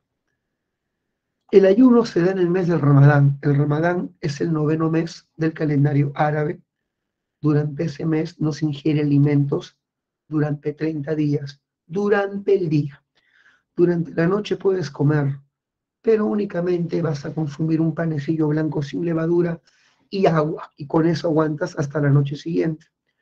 En el mundo musulmán no se toma alcohol. Ahí está prohibida las bebidas alcohólicas. ¿Por qué crees que Cueva mejoró tanto su nivel? Porque estando en Arabia no hay fiestas ni alcohol. ¿eh? Por eso está tranquilo. Y por las puras subió su nivel porque no hizo nada contra Australia. Durante ese mes se prohíben las relaciones sexuales. La peregrinación a la Meca es un pilar que se debe cumplir por lo menos una vez en la vida visitar los santos lugares y visitar los territorios donde Mahoma inició su práctica de profeta. Muy bien. Aparte de los cinco pilares, hay un precepto obligatorio llamado yihad. La palabra yihad significa esfuerzo. El esfuerzo implica la lucha o resistencia que cada creyente tiene que hacer en defensa del Islam, la defensa y la propagación de la ley de Alá. Esa es la yihad. En Occidente, la yihad se conoce como la guerra santa. ¿Qué dice el Corán? El Corán dice lo siguiente. Si un musulmán muere propagando la ley de Alá o defendiendo su ley, sus pecados son absueltos y se ganan directamente el cielo. Se ganan directamente ¿Ya? Muy bien. Y en el cielo, adivina qué te espera si has muerto peleando la guerra santa contra los enemigos de la fe. Un harén de 50 vírgenes para tu disfrute eterno. Es la promesa que hace el Corán a los que mueren en su guerra santa. Sus centros de culto se van a llamar mezquitas. Las mezquitas son lugares de culto y las mezquitas, hijo mío, se caracterizan por no tener ningún tipo de decoración con presencia de ser vivo alguno. No se puede representar ni planta, ni animal, ni seres humanos. Así que la decoración de una mezquita únicamente se hace con motivos geométricos o con frases del Corán escritos con bella caligrafía árabe cúfica. Esta es una de las mezquitas más bellas es la mezquita de la roca que está en Jerusalén. Muy bien.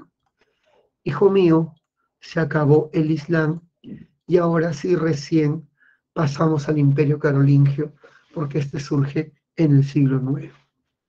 Chicos, hasta ahí, ¿cómo vamos? ¿Vamos bien?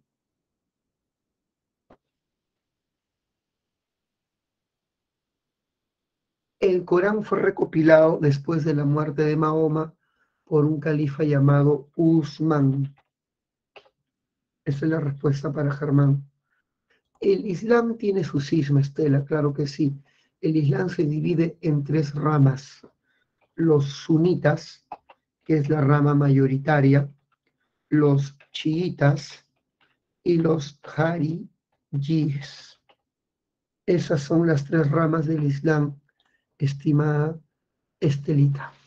¿Qué dicen los sunitas? Que solamente pueden ser califas los que pertenezcan a la tribu Omeya.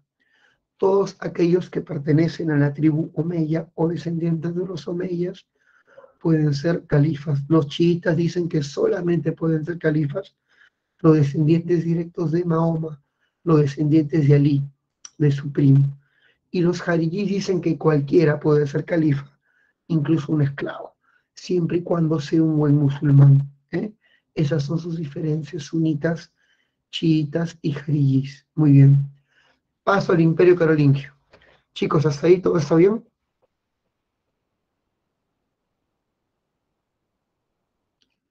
Hasta ahí, chicos, todo está bien. Pregunto para continuar. Excelente. Muy bien, Germán. Muy bien, Ángela. Pasamos al imperio carolingio. El imperio carolingio tiene su origen en el reino franco. El reino franco es un reino germano que se desarrolla en la zona central, en la zona de las Galias. El famoso reino franco comenzó a expandirse desde que llegó un famoso monarca llamado Clodoveo. El famoso rey Clodoveo, el primer rey de los francos, comenzó grandes conquistas, invadiendo a todos estos pueblos que pueden ver acá. Clodoveo es responsable de haber unificado las Galias.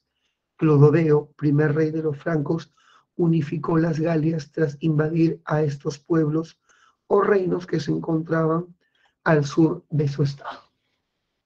Todo gran hombre tiene una gran mujer a su lado y Clodoveo se casó con una famosa princesa, la reina Burgundia Clotilde, una bella pelirroja. Clotilde. Debe saber que Clotilde era cristiana y va a influenciar en Clodoveo para su conversión al cristianismo. Es muy importante la pareja que tengas porque va a influenciar sobre ti. Hija mía, si te consigues a un futbolero, vas a terminar yendo mucho al estadio. Si estás con un dotero, vas a terminar yendo a los salones de videojuegos. ¿eh? Así que es muy importante que elijas bien a tu pareja, la influencia es muy grande. Chicas, no vayan a hacer esto, no vayan a meterse, por favor, con ningún chico con problemas de alcohol, marihuana, y esas cosas, porque son pésimas influencias y porque tu hijita te mereces lo mejor. No te contentes con uno de estos chicos que tienen problemas y vacíos en su vida. Eso sí, yo no soy quien para juzgar a nadie, pero cualquier persona con estos problemas es porque tiene un gran vacío y nunca es una buena pareja. Tú también, hijo, ¿eh? busca la mejor para ti, la mejor. Se merecen lo mejor. Sigamos deben saber que Clodoveo se convierte en cristiano por la influencia de su esposa. Y al convertirse en rey en cristiano, todo el reino franco adoptó el cristianismo. Por eso es importante Clodoveo, primer rey de los francos, unificó las Galias y e inició la conversión de su estado al cristianismo. Clodoveo es el fundador de una dinastía de reyes francos llamada dinastía merovingia, la dinastía merovingia. Chicos, hasta ahí, ¿vamos bien? Pregunto. Ah, ya me está doliendo la espalda de estar sentados. Hasta ahí vamos bien, pregunto. ¿Se va comprendiendo?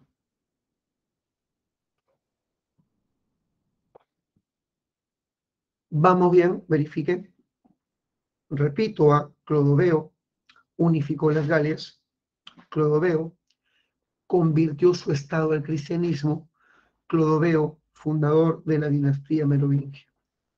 Lamentablemente, cuando Clodoveo se muere, su reino se fragmenta en cuatro por el derecho de herencia por sangre, ese famoso derecho que establece que el patrimonio de una familia se divide entre el número de hijos. Clodoveo tuvo cuatro descendientes Así que su reino se parte en cuatro. Te pregunto, pregunta para todo el grupo.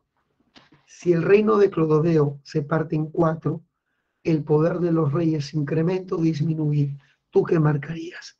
¿Tú qué marcarías? Si el reino se parte en cuatro, claro, el poder de la monarquía se reduce. Y vayan aprendiendo esto. Cuando el poder de la monarquía se reduce, Adivina quiénes incrementan su autoridad. La nobleza. La nobleza aprovecha la reducción del poder de los reyes para hacerse con el poder. Y los nobles van a gobernar el reino franco a través de un cargo político, el cargo de mayordomos. ¿Qué es un mayordomo? Es como un ministro, es como un canciller. Estos mayordomos, que eran nobles, estaban al servicio del rey. Son los funcionarios que representan a la nobleza. Y con el tiempo los mayordomos terminaron asumiendo el gobierno efectivo del reino franco. Con el tiempo los mayordomos terminaron asumiendo la dirección del ejército, la administración de palacio. Por eso es que el nombre completo es mayordomo de palacio. Y los reyes van a terminar desplazados a una función decorativa. Llevaban la corona, pero no tenían el poder efectivo. A estos reyes que fueron desplazados por los mayordomos se les conoce como los reyes holgazanes. Muy bien, los reyes holgazanes. Una cosa importante con lo que te voy a contar. Debes saber que los reyes holgazanes son intrascendentes, así que hablaremos de los mayordomos de palacio. Hablaremos de Carlos Martel, el primer mayordomo importante. Carlos Martel será recordadísimo porque salvó, repito, Carlos Martel salvó, Carlos Martel salvó al reino franco de la invasión musulmana. ¿sí? Los musulmanes estaban a punto de, este,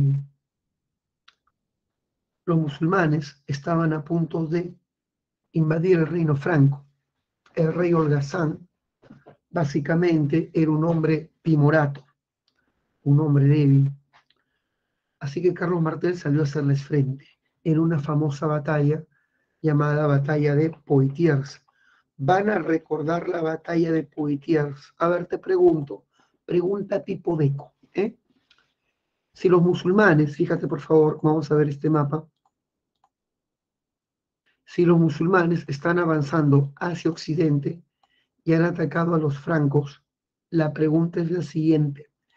¿Qué pasaría si los musulmanes vencen a los francos? ¿Qué sucedería si los árabes derrotan al reino franco? Pregunto, ¿qué pasaría con la cristiandad? Sería borrada de Occidente y la religión hegemónica hubiese sido el Islam. Esta es una de las batallas más importantes de la historia porque van a decidir la fe de Europa de Occidente. Si ganaban los musulmanes, el cristianismo hubiera sido barrido del mapa y hablaríamos de un mundo con una hegemonía religiosa musulmana. ¿Se comprendió? Por favor, verifiquen eso. Verifiquen eso. Necesito saber si están comprendiendo eso, chicos. Muy bien, Estela. Y Carlos Martel venció a los musulmanes en Poitiers, salvando la cristiandad en Occidente. El hijo de Carlos Martel se llamó Pipino el Breve, nuevo mayordomo de, de Palacio. Muy bien, Estelita, ¿eh? muy bien. Pipino el Breve es llamado así porque era bajito. Algunas interpretaciones dicen que era escueto al hablar, hablaba muy poquito, y por eso también le decían el breve, posiblemente por esas dos opciones. El hecho es que Pipino el breve salvará a la iglesia del ataque de un reino bastante temido, el reino lombardo. Los lombardos eran un pueblo poderoso en el norte de Italia y están atacando a la iglesia. Y el Papa Zacarías pide auxilio, ¿quién podrá defenderme? Dice Zacarías II. Y el reino que salió en defensa de la cristiandad fue el reino franco, por, eh, por dirección de Pipino el Breve. Los francos derrotan a los lombardos, salvan a la iglesia y no contentos con vencer a los lombardos, los francos le entregan a la iglesia una ciudad lombarda, Ravenna van a recordar esto. Pipino vence a los lombardos, les quita la ciudad de Ravenna y se le entrega a la iglesia. Y a este regalo se le llama la donación de Pipino.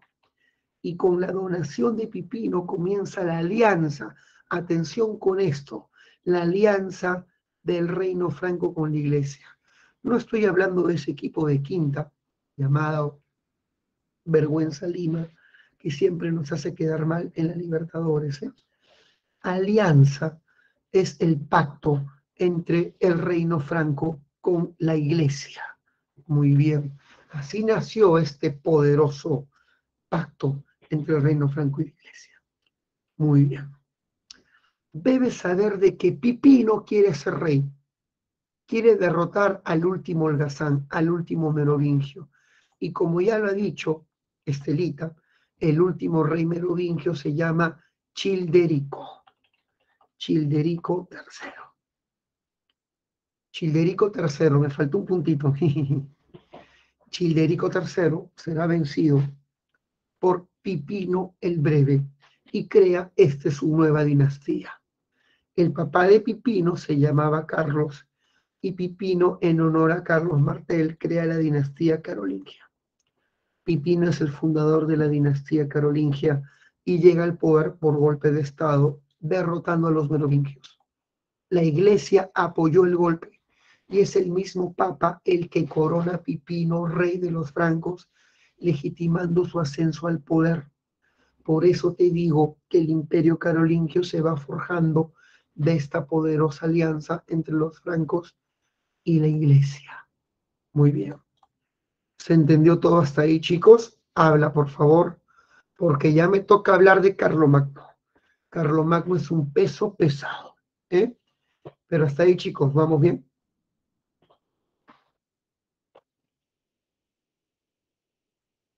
¿Vamos bien? Voy a hacer una retro por si acaso. El reino franco surgió en las Galias, actual Francia.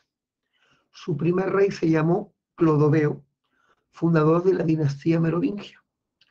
Clodoveo unificó las Galias e inició la conversión de su reino al cristianismo. Con el tiempo los reyes francos perdieron poder, reyes holgazanes, el cual pasó a mano de los nobles, llamados mayordomos de palacio. Los mayordomos más famosos son Carlos Martel y Pipino el Breve. Carlos, en la batalla de Poitiers, salvó la cristiandad del avance del Islam. Y Pipino derrotó al último holgazán, Childerico III, convirtiéndose en fundador de la dinastía carolingia. Chicos, ahora sí se comprendió, esa fue nuestra retroviolenta. ¿Vamos bien? ¿Vamos bien? Listo. Debes saber que Carlomagno se convierte en el más grande rey de los francos, el que llevó a su, reino a la máxima expansión. Carlomagno inició campañas contra muchos pueblos. Carlomagno derrotó a los lombardos y los anexó a su reino. Carlomagno destruyó el reino lombardo invadió a los sajones de Alemania, y esta fue pregunta de San Marcos. Ahí donde Carlomagno se impone, ¿qué religión establece? Esa fue pregunta de la pre. ¿Qué religión implementa Carlomagno ahí donde se establece el cristianismo? Carlomagno propagó el cristianismo. Y te hago una pregunta. Ahí donde se propaga el cristianismo, ¿qué institución es la más beneficiada porque gana tierras y cobra impuestos. Escriban, por favor. ¿Qué institución es la más beneficiada con la expansión del imperio carolingio? La iglesia. Y el Papa León III, el Papa León, decide coronar a Carlomagno, emperador de Occidente, en el año 800, noche de Navidad invita a Carlomagno a que pase con él la Nochebuena. Eso sonó raro, ¿eh? La Navidad. Y le coloca la corona imperial, nombrándolo emperador de Occidente. El objetivo de Carlomagno a partir de ese momento será, a partir de ese momento, su objetivo será crear un imperio que restablezca la unidad de Occidente así como alguna vez lo fue el imperio romano. Así que el objetivo de Carlomagno será, hijo mío, restablecer Roma, reconstruir Roma de Occidente. Y esa ha sido pregunta de examen también, ¿eh? Recordar esto. una pregunta de interpretación. La pregunta decía más o menos así. ¿Cuál fue el significado del imperio carolingio? Fue el primer intento de reconstruir Roma en Occidente. Ya, eso en tu cabeza. Y ha habido otra pregunta de eco. Cuando el Papa le coloca la corona a Carlomagno, comienza la subordinación de los reyes a la iglesia. Tú no puedes obtener el título imperial si el Papa no lo impone. Así que comienza esta tradición de coronación y legitimación de ascenso de una dinastía al poder a través de la iglesia. El Papa nombra emperadores. Iglesia como institución que legitima y que se impone al Estado. Los papas quieren imponerse a los reyes y emperadores como la suprema autoridad de Occidente. Chicos, ¿se va entendiendo todo? Por favor, verifiquen. Verifiquen.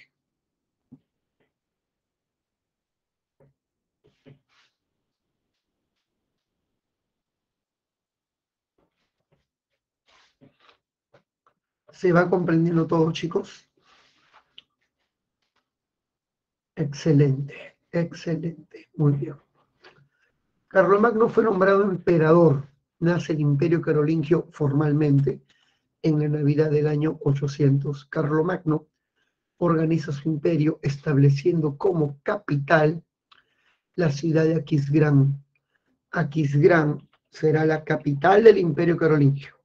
Eso no puedes dejar de saber. El imperio se dividió en ducados, condados y marcas. Un ducado es como un gobierno departamental. ¿eh? Un ducado, hijo mío, es gobernado por un duque, dividido en provincias llamados condados. El condado, gobernado por un conde. Y las marcas son los territorios fronterizos. Son las fronteras altamente militarizadas, gobernadas por un marqués. Las marcas son las fronteras altamente militarizadas, gobernadas por un marqués. Duque, conde marqués son nobles. Carlomagno no puede confiar en nobles, porque los nobles siempre quieren gobernar con autonomía sus regiones, así que Carlomagno lo supervisa, enviando a un fiscalizador, a un supervisor imperial, llamado el Misi Dominici. Algo similar se dio en el Tahuantinsuyo, ¿te acuerdas? Los gobiernos provinciales o guamanis, al mando de un Totricoc, eran supervisados por un fiscalizador llamado Tucuy Ricuy, el que todo lo ve. ¿Se acuerdan? Hagan ese paralelismo, por favor. Hagan ese paralelismo. Siempre es bueno hacer paralelismos para consolidar nuestras ideas. Te preguntan en tu examen, cuando Carlomagno fue coronado año 800, ¿qué pasaba en el Perú? Se estaba dando el horizonte medio. Sí, del año 600 al año 1100, horizonte medio, estábamos en pleno imperio Huari. Ya está. Y expansión de Aguanaco. Debes saber que Carlomagno restituyó los estudios clásicos creó una enorme escuela para nobles, la escuela palatina, también llamada escuela palaciega. También creó la escuela conventual para los miembros del clero y la escuela parroquial, esta última para el pueblo. En la escuela palatina se buscó restaurar los estudios clásicos a través de la impartición del trivium y el quadrivium. El trivium era la enseñanza de gramática, escribe bien, retórica, exprésate bien y dialéctica. La dialéctica es la lógica y la filosofía.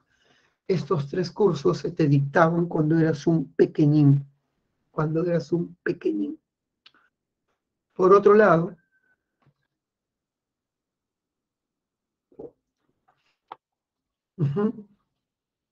por otro lado, eh, debes saber de que el quadrivium se sustentaba, básicamente el quadrivium se sustentaba en la enseñanza de el quadrivium se sustentaba en aritmética, eh, geometría, aritmética, geometría, eh, astronomía y música. Ya está. La aritmética, hijo mío, era importantísimo para poder hacer estadística, cálculo, presupuesto, la geometría, importante para la ingeniería, construcción de estructuras civiles y militares, la astronomía para hacer el calendario agrícola, el manejo de las estaciones, y la música para el culto de Dios, música de iglesia básicamente, ¿no? No la música que ustedes escuchan hoy en día, el faraón Block Shady, Ra, Dios mío, qué horrible música, ¿eh? la de esos tiempos. Bueno, hay música mala en cada época. Y en mi época también había música mala. No sé si han escuchado Sopa de Caracol, ¿eh? antigua de mis épocas. No, Carlomagno no era alfabeto, tenía un maestro, Alcuino de York. Alcuino de York era el maestro y tutor personal de Carlomagno. El que sí era el alfabeto era Clodoveo, primer rey de los francos. Fue educado progresivamente por San Remigio. Muy bien. Sigamos. Chicos, hasta ahí todo está claro, ¿no? Todo está claro, ¿no? Será educado. Muy bien. Es un rey, tiene que tener educación. Listo. Ahora pasemos rápidamente a lo que viene a ser la decadencia del imperio carolingio. Claro, las escuelas para restituir los estudios clásicos. Cuando Carlomagno muere, el poder lo toma su hijo, Ludovico Pío, Luis el Piadoso. Y este a su vez tiene tres hijos. ¿Y qué dice la tradición de herencia por sangre? Que el patrimonio se parte entre el número de herederos. Y fue así como el famoso Ludovico Pío parte su reino en tres, para sus tres herederos, los cuales comienzan una guerra civil por la hegemonía. Lo que llevó al imperio carolingio a su fin fue, sin duda alguna, eh, las guerras civiles entre los nietos de Carlomagno, las guerras civiles. ¿Quiénes son los hijos de Ludovico Pío? ¿Eh? Carlos el Calvo, Lotario, Luis el Germánico, y estos van a fragmentar el imperio producto de este conflicto civil. El tratado que marcó la muerte del imperio carolingio fue el Tratado de Verdún. El Tratado de Verdún. Y el imperio se dividió en tres. ¿Cuáles son las consecuencias del Tratado de Verdún? Primero, al dividirse el imperio carolingio se debilita el poder de los reyes. Y al debilitarse el poder monárquico, el poder de la nobleza se fortaleció excesivamente surgiendo grandes nobles con mucho poder y autonomía llamados señores feudales. Surgen los señores feudales tras la decadencia del gobierno central y de los reyes. Ya hablaremos de las invasiones bárbaras del siglo IX que se van a lanzar sobre Occidente debido a que no había un imperio o estado que pueda hacerles frente. Hablaremos de los normandos, también llamados vikingos, los magiares, también llamados húngaros, y los sarracenos, que son los piratas musulmanes que azotaban el Mediterráneo. Todo esto, hijo mío, permitirá la formación del feudalismo. Y es algo que vamos a estudiar en un momento. Llegamos a la PPT 9. Feudalismo, hijo mío. Recuerden, tras la desintegración del imperio carolingio, surge el feudalismo. Hasta ahí te pregunto, hijo, todo claro. Esto acaba a las una a las 11:55, ¿no? Esto acaba 11:55, ¿no? Ya, pues no vamos a avanzar nada en dos minutos. Así que llegó la tanda de preguntas. Tanda de preguntas. Pueden preguntar lo que sean de HP, de HU, eh, también tengo manejo de Pokémon, sé de fútbol, por qué no ganamos, por qué no funcionaron los volantes de salida, por qué Canchita González no hizo la función de YouTube, porque Cueva estaba supermercado, porque fue el partido más bajo que he visto en mi vida a Carrillo, y la Padura estaba desconectado. Nos cortaron los circuitos de manejo. Dios mío, qué terror. A ver, preguntas. Preguntas, chicos, preguntas. Hablen nomás. Advíncula se va porque es el dolor del momento. Se siente culpable. Messi, cuando falló el penal de la Copa América eh, Centenario, anunció su retiro de la selección argentina. En caliente se dice eso. Ya borró ese comentario de su cuenta de Instagram y lo va a reconsiderar, porque así funciona el espíritu humano en caliente, uno dice cosas feas. Muy bien. Sigan preguntando, sigan preguntando. De fútbol, de fútbol. Muy bien. Menos mal que no aposté. Menos mal que no aposté. Pero te juro que hasta lagrimié de la cólera, ¿eh? Porque yo soy un seguidor de fútbol fuerte. Lagrimié de la cólera. No podía creerlo. Al día siguiente era un zombie viviente. No quería ni despertarme. No quería ni despertarme. Muy bien. Ya superarlo. Si sobrevivimos a las tramposas que nos han engañado y roto el corazón, podemos sobrevivir a esto. Chicos, regresamos.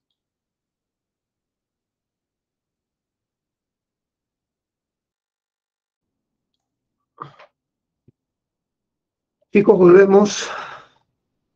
A ver. Germán me mandó una pregunta de examen de admisión, recién la estoy viendo, y dice así. A pesar del deseo de Luis el Piadoso por mantener una idea del imperio carolingio, ese terminó dividido en tres reinos. Al designar a Lotario, su hijo mayor, como sucesor al trono, desató una guerra civil con sus hermanos, Luis y Carlos el Calvo. Claro, lo derrotaron en la batalla de Fontenay. Esto acabó con la firma del Tratado de Verdún, que reconoció la tradición franca del reparto territorial entre herederos del trono institucionalmente. La división del imperio carolingio tuvo como factores. A ver,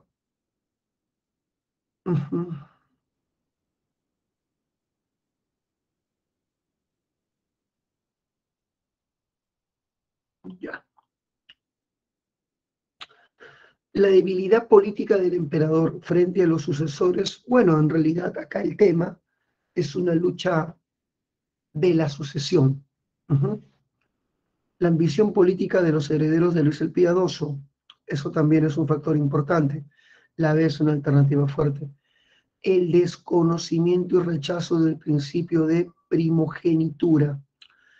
Lo que pasa es que en el mundo franco había un derecho de herencia por sangre, así que el principio de primogenitura no había estado establecido. El rechazo general a las prácticas sucesorias de los francos. En realidad, al final sí se reconoció. El Tratado de Verdún marca un reconocimiento de la tradición de herencia por sangre.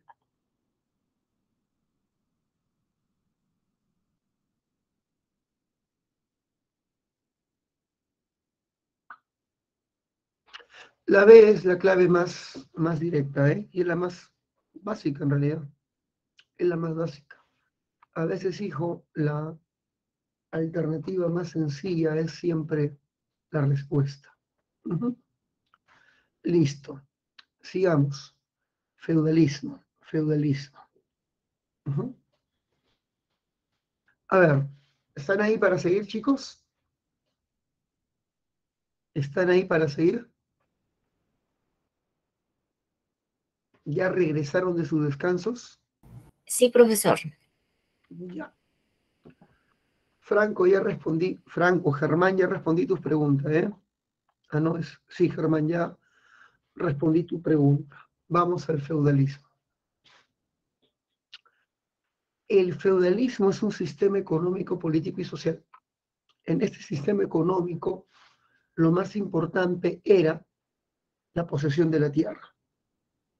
la tenencia de la tierra. En el feudalismo de la tierra es el recurso más importante y los grandes propietarios de tierra son los señores feudales. El señor feudal reside en este castillo, que es el centro político y administrativo del feudo, y gobierna sobre una masa de campesinos que se van a llamar siervos. El feudo es la gran propiedad, gobernada por un señor feudal que suele ser un noble o un eclesiástico. Los campesinos que viven dentro del feudo tienen libertades muy limitadas y se van a llamar siervos. El siervo es el campesino sujeto o adscrito a la tierra. El señor tiene una obligación con respecto a sus siervos. Tiene que entregarle parcelas. Tiene que entregarle parcelas. Estas parcelas que el señor entrega a su siervo se van a llamar mansos. Y aparte de darles parcelas, el señor tiene que darles protección. ¿Protección de quién? De ataques e incursiones de los pueblos bárbaros. Ya está. Esta relación que nace entre siervo y señor se va a llamar servilismo, que es uno de los fundamentos del sistema feudal. Repito, el señor concede a sus siervos parcelas y protección, y los siervos le deben obediencia y el pago de contribuciones. A esta relación se le llama servilismo. Pero aparte del servilismo o servidumbre, que es una relación de dependencia personal, el otro vínculo importante del feudalismo es el vasallaje. El vasallaje se define como el contrato entre nobles, donde dos nobles, un vasallo y un señor, firman un contrato. El vasallo ofrece sus servicios a cambio de que el señor entregue ciertos beneficios. A este contrato entre nobles, basado en la entrega de servicios, a cambio de la concesión de beneficios, se le va a llamar, se le va a llamar eh, vasallaje. Vasallaje. Muy bien. Una vez comprendido eso, te pregunta, ¿cuáles son los fundamentos del sistema feudal? Primero, la posesión o tenencia de la tierra. Y segundo, las relaciones de dependencia personal y existen de dos tipos. El servilismo, señor campesino, y el vasallaje, contrato entre nobles el feudalismo surge en Francia entre el siglo IX y el siglo XIII de la Edad Media. Es un fenómeno propio de Europa de Occidente. El feudalismo solo se da en Europa de Occidente. ¿Cuáles son las causas para que el feudalismo surja? Primero, la desintegración del imperio carolingio. Cuando este imperio se desintegra, se debilita tremendamente el poder, el poder monárquico se debilita el poder de la monarquía y éste se reduce. Y al reducirse el poder de los reyes, ¿qué poder se fortalece, chicos? El de la nobleza, que gana prestigio y autonomía, tornándose en señores feudales. Muy bien, se convierten en señores feudales. está.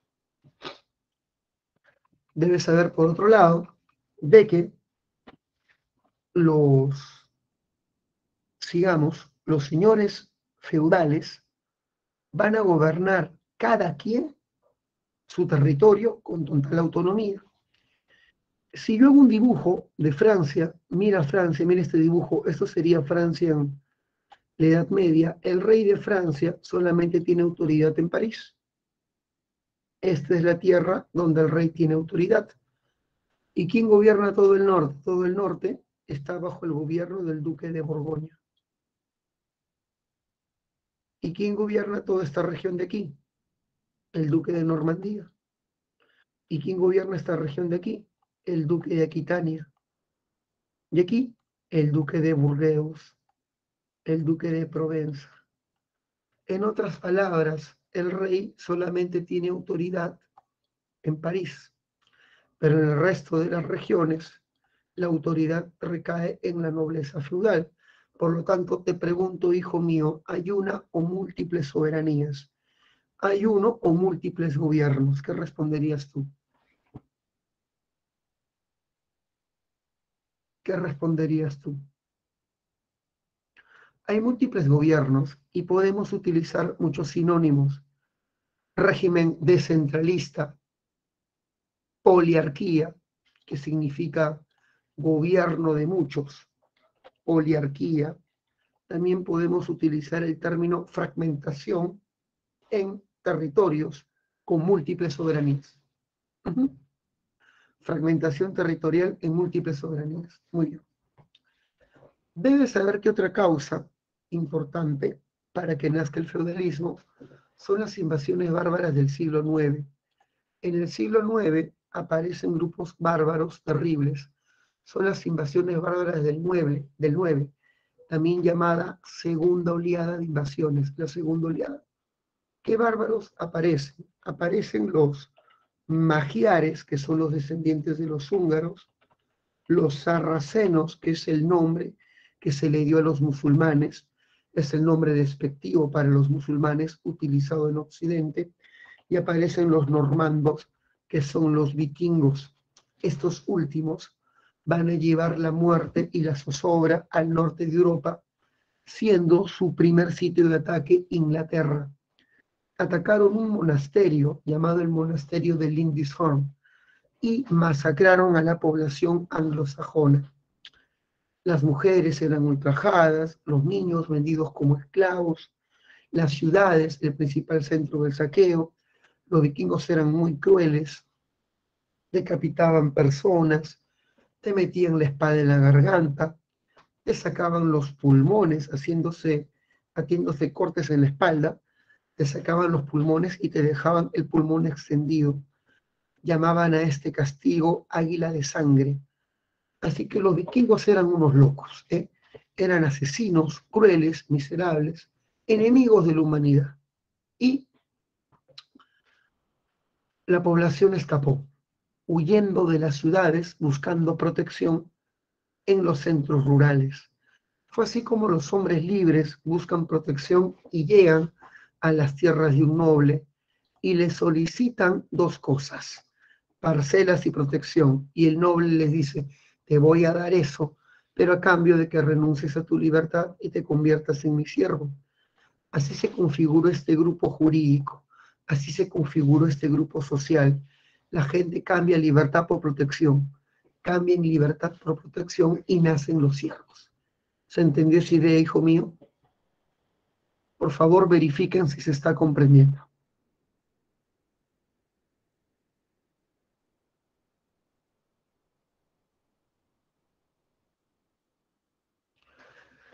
¿Se comprendió cómo nacen los siervos?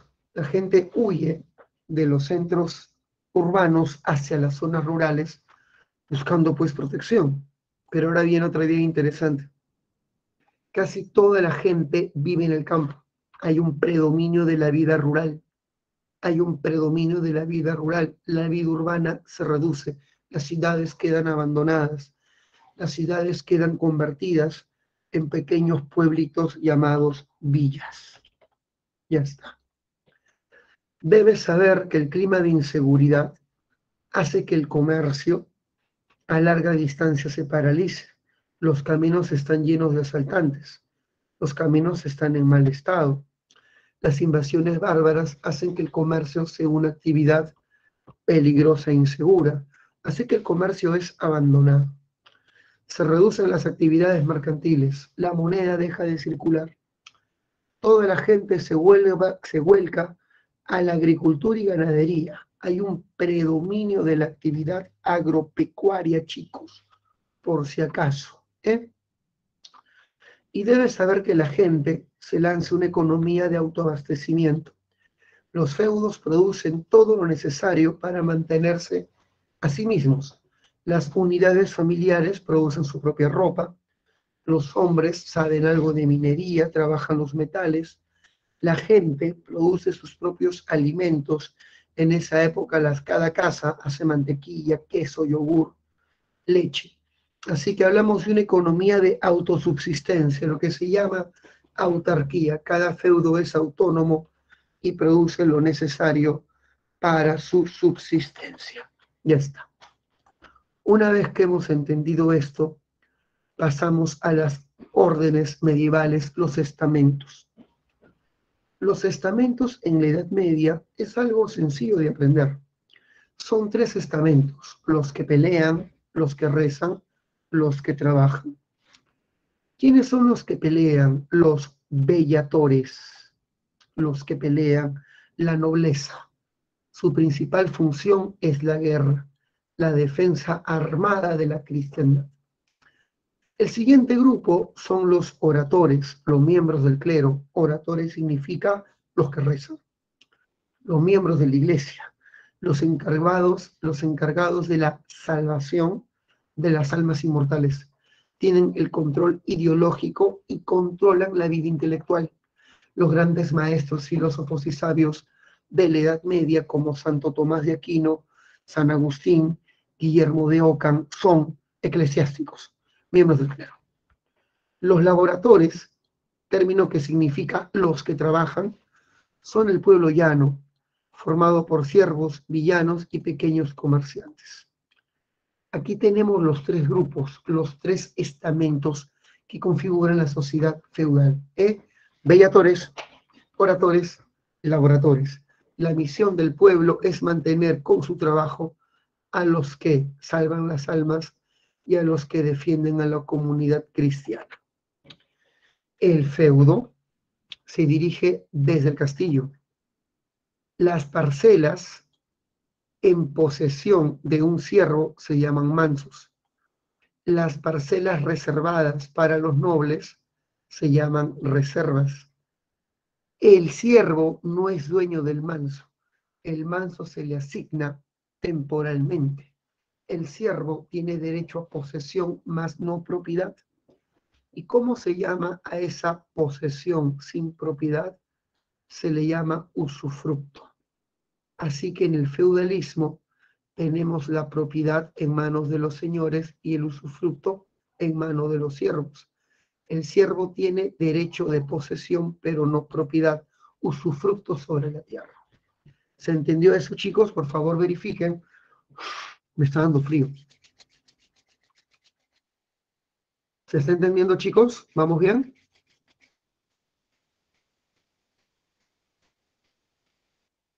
Ya está. Muy bien. Una vez que hemos comprendido esto, pasamos a las contribuciones. Un siervo tiene que pagar una contribución anual un siervo tiene que pagar una contribución anual a su señor y se va a llamar censo. El censo es la contribución anual que paga un siervo a su señor. Aparte de esta contribución, tiene que trabajar semanalmente en las reservas del señor. A eso se le llama corbea. Repito, la corbea es el trabajo semanal que ofrece un siervo a su señor en sus tierras. Es la prestación de fuerza laboral semanal. Y la banalidad es el impuesto que paga un siervo cada vez que use una instalación del Señor, como el molino, por ejemplo, o el puente. Así que entendamos la diferencia. El censo es anual, Corbe es semanal y la banalidad es eventual, cada vez que use una instalación. En el censo entregas bienes, dinero o productos agrícolas y en la Corbea entregas fuerza laboral. Esa es la diferencia, ¿ya? Tengamos en cuenta estas diferencias. Debes saber de que los siervos están sometidos a las tradiciones implantadas por la costumbre. Una de esas tradiciones es un derecho infame llamado pernada. La pernada o prima noctem permite a un señor tener intimidad con las doncellas que habitan dentro de su feudo. Normalmente el Señor pide a los siervos una noche con sus prometidas, la primera noche de bodas, para ser el quien tome la virginidad de la doncella. A este derecho infame se le llama prima noctem, que significa primera noche, prima noctem o pernada. Ahora pasemos al vasallaje. El vasallaje es el contrato entre el vasallo, un noble, y el señor, un noble más poderoso. El vasallo o noble subordinado le ofrece a su señor sus servicios políticos y militares. Por ejemplo, la defensa armada de su castillo, acompañarlo a sus campañas militares o asesoría jurídica. Una vez que ofrece sus servicios, éste se arrodilla, le toma las manos a su señor y le hace un juramento de fidelidad. A esta ceremonia se le llama homenaje. Empieza con la genuflexión, te arrodillas, le tomas las manos a tu señor y las besas, in mixtum manum. No tienes que aprender el nombre de cada parte de la ceremonia. ¿eh? Y luego le hace un juramento de fidelidad que comienza siempre con la misma palabra. Desde ahora soy vuestro hombre, es decir, que está a su disposición. A cambio de eso, el Señor lo recompensa con la entrega de un beneficio que la mayor, la mayor, la mayoría de veces es un feudo, un territorio. Se entrega el feudo y la ceremonia termina con la entrega de un obsequio. El obsequio que puede ser un anillo, una espada, un báculo, representa la transferencia del beneficio y la ceremonia acaba con un oscurum, con un beso esta ceremonia, esta, este vínculo de vasallaje es vitalicio, dura, dura toda la vida y se puede romper. Si el vasallo no cumple con sus obligaciones, el Señor lo declara felón, le hace la guerra y le quita los beneficios otorgados. Como todo contrato, se puede romper. Listo, chicos, hasta ahí. ¿Se entendió el vasallaje? ya debo pasar al renacimiento urbano comercial.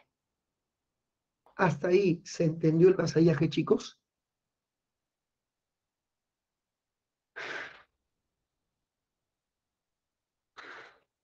¿Vamos bien?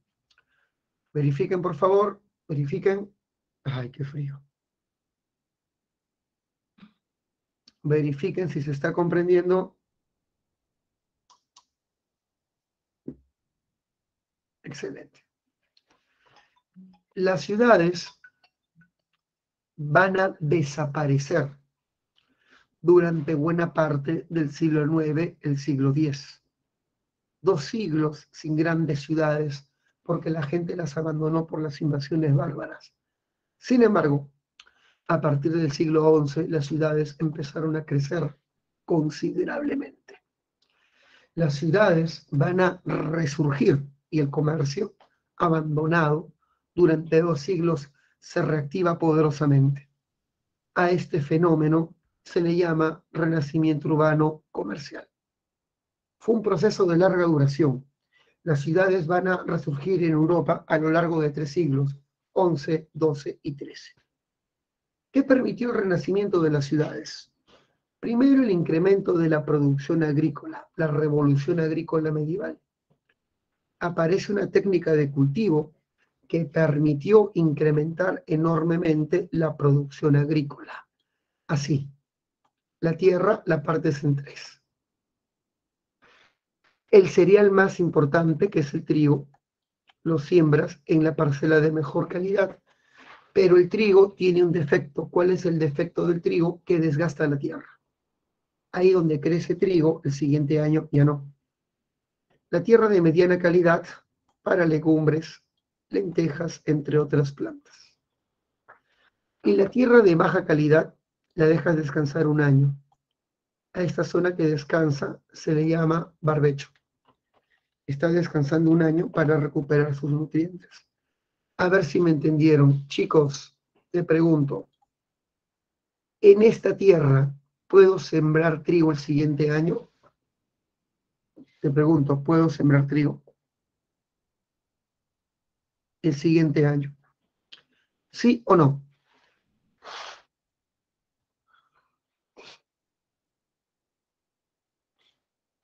Respondan, por favor.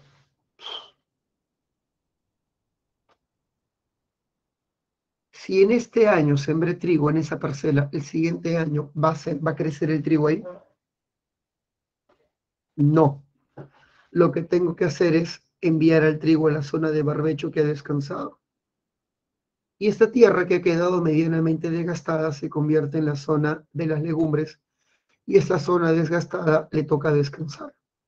¿Qué estoy haciendo con los cultivos? Los estoy rotando. A esta técnica se le llama rotación trienal. Trienal. Se van a dar otras innovaciones. Aparece un nuevo tipo de arado llamado el arado normando, un arado pesado que va a ser tirado por caballos. Los caballos van a ser convertidos en animal de tracción. Al caballo se le pone un sistema de arnés en el cuello para que no se rompa el cuello tirando los arados pesados. Se le pone herraduras, un invento medieval, para que tenga peso y tracción.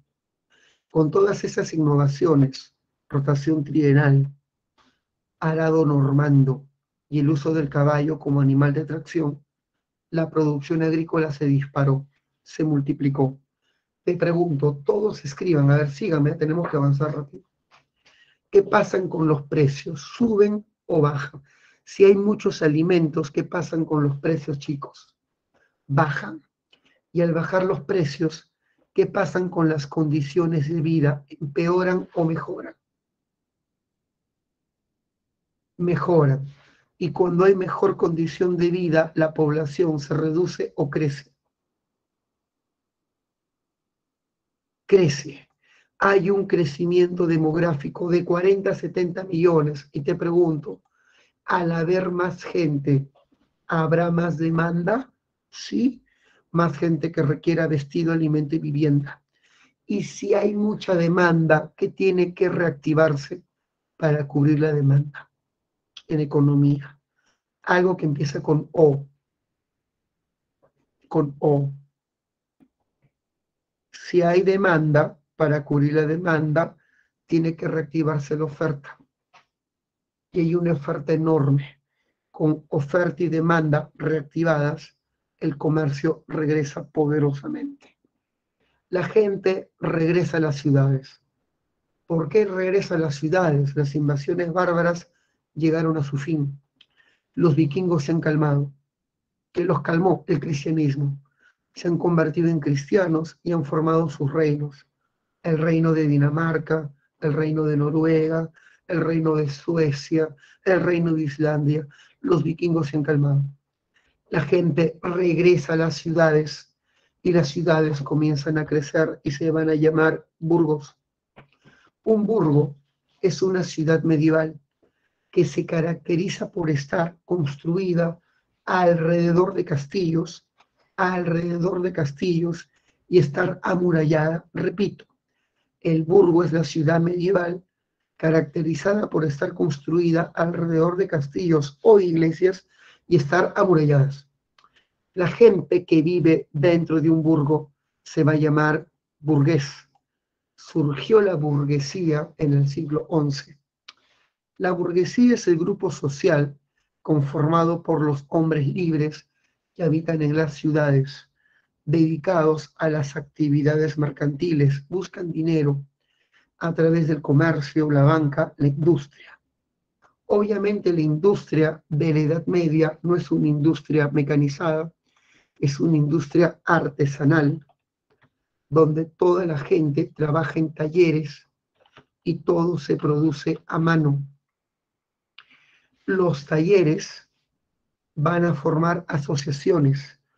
Los talleres de una ciudad forman corporaciones o asociaciones para reglamentar el trabajo dentro de la ciudad.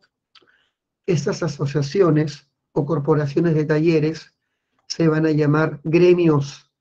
Los gremios reglamentan el salario de los trabajadores de los talleres. Los gremios establecen el precio justo o justiprecio de la mercancía producida en los talleres. Todo se produce en base a las reglas del gremio. Todo se agremió en las ciudades medievales, incluso la educación. Aparecen maestros y alumnos en profesiones como derecho, arquitectura, medicina. Surgen gremios de maestros y alumnos que van a alquilar catedrales para dictar sus clases. Las clases se van a llamar cátedras los profesores catedráticos, ya estos gremios de maestros y alumnos que tenían por función generar nuevo conocimiento, se le llamó universitas, y de ahí viene la palabra universidad. Universidad. Muy bien. Listo. La primera universidad de Europa se va a llamar Bolonia en Italia y luego vienen otras como Oxford en Inglaterra. Con el tiempo también surge la banca. Los banqueros surgen a partir de los cambistas. Los cambistas dan paso a los banqueros. Surgen dos importantes ligas comerciales. La liga italiana, que dominaba el comercio en el mar Mediterráneo, los italianos dominaban el comercio en el Mediterráneo, y la liga hanseática, que es una liga alemana, que dominaba el comercio básicamente en el norte de Europa, en el norte. La liga hanseática alemana dominaba el comercio en el mar del norte y en el mar Báltico es la liga comercial que dominaba las rutas del norte de Europa y los italianos en el sur, en el mar Mediterráneo.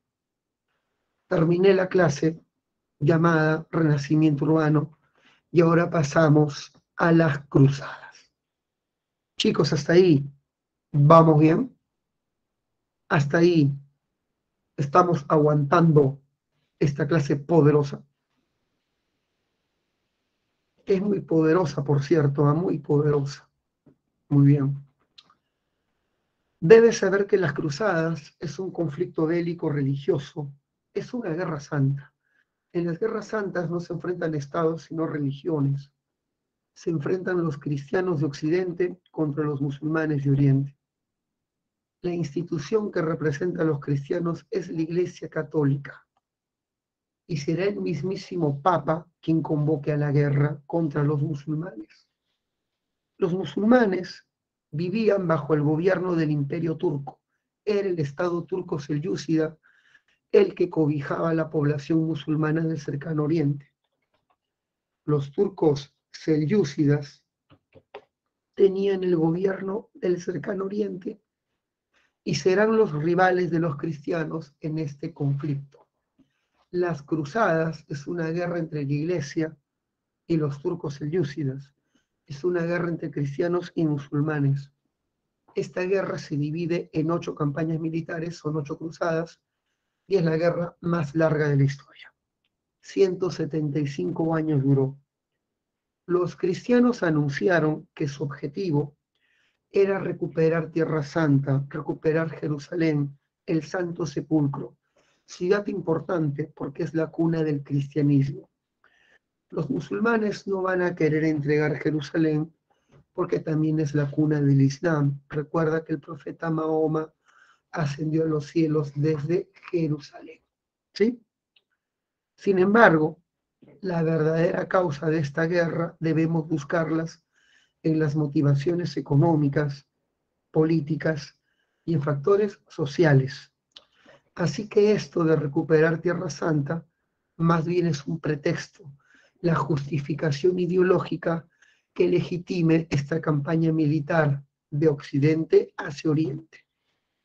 Según muchos especialistas, las cruzadas tienen un significado. Es la campaña militar emprendida por los cristianos de Occidente para expandir su modelo económico hacia el cercano Oriente qué modelo económico el feudal. O sea que representa ante todo la expansión del feudalismo. Chicos, ¿se va entendiendo? Por favor, verifiquen, verifiquen, verifiquen, verifiquen, verifiquen, verifiquen.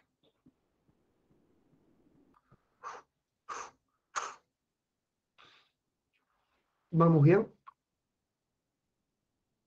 Excelente. Precedentes. Debes saber que las cruzadas son llamadas por el Papa debido a que el Papa recibió un llamado de auxilio del emperador bizantino Alejo. Alejo pidió apoyo a la iglesia para salvar Constantinopla del avance turco-selyúcida. Los turcos selyúcidas se han expandido por Occidente a costa de los bizantinos. Le han arrebatado grandes ciudades como Jerusalén, y le han arrebatado ciudades como Nicea. Nicea era la ciudad bizantina más importante en Asia Menor. Y Asia Menor era trascendental porque era su zona de producción agrícola, su granero, la zona de producción de cereales. Los turcos han arrebatado Jerusalén y Nicea y amenazan Constantinopla. Para frenar su avance, el emperador Alejo solicita, su, solicita auxilio al Papa Urbano II, poniendo énfasis en juntos recuperar Jerusalén. En realidad el emperador bizantino está más interesado en salvar Constantinopla que Jerusalén. Así que la primera causa de la guerra sería frenar el avance turco, detener el avance turco sobre Occidente. Primera causa.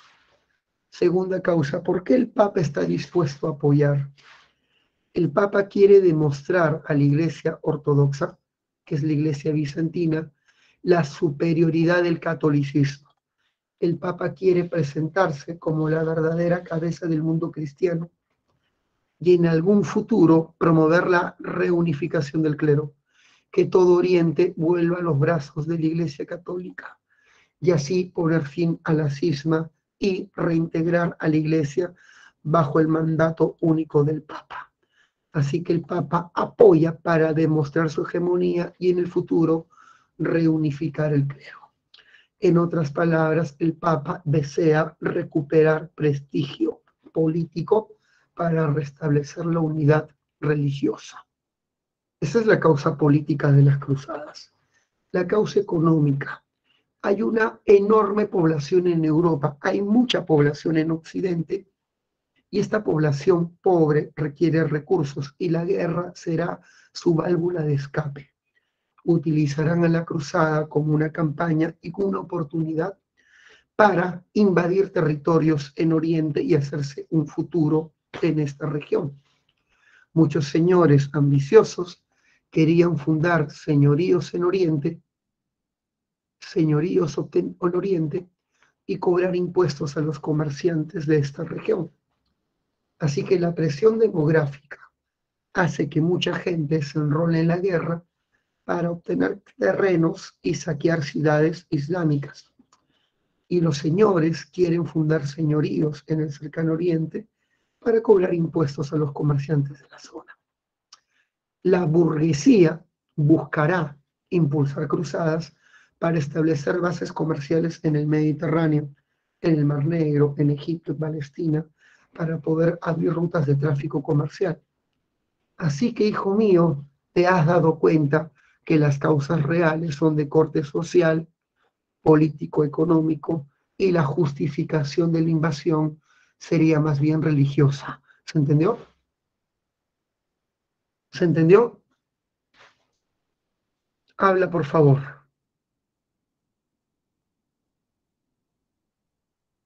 Verifiquen, chicos, si se está comprendiendo esto. Ay, qué frío, qué frío. Entonces, ¿cuáles son las causas de las cruzadas? Repito, detener el avance turco por Occidente. El Papa llama a la Guerra Santa para restablecer su prestigio y en el futuro reunificar el clero. Lo que buscan los señores feudales es fundar señoríos en Oriente y el populacho se une a la guerra para saquear ciudades la burguesía busca rutas de comercio en el Mediterráneo y la justificación a todo esto es recuperar el Santo Sepulcro. ¿Se entendió? Ahora sí, chicos, con esa retroalimentación, ¿se entendió? Muy bien. El origen de la guerra se da cuando el Papa convoca al concilio de Clermont. En esta asamblea reúne dignidades y autoridades civiles y religiosas y persuade a la población de pelear por Jerusalén.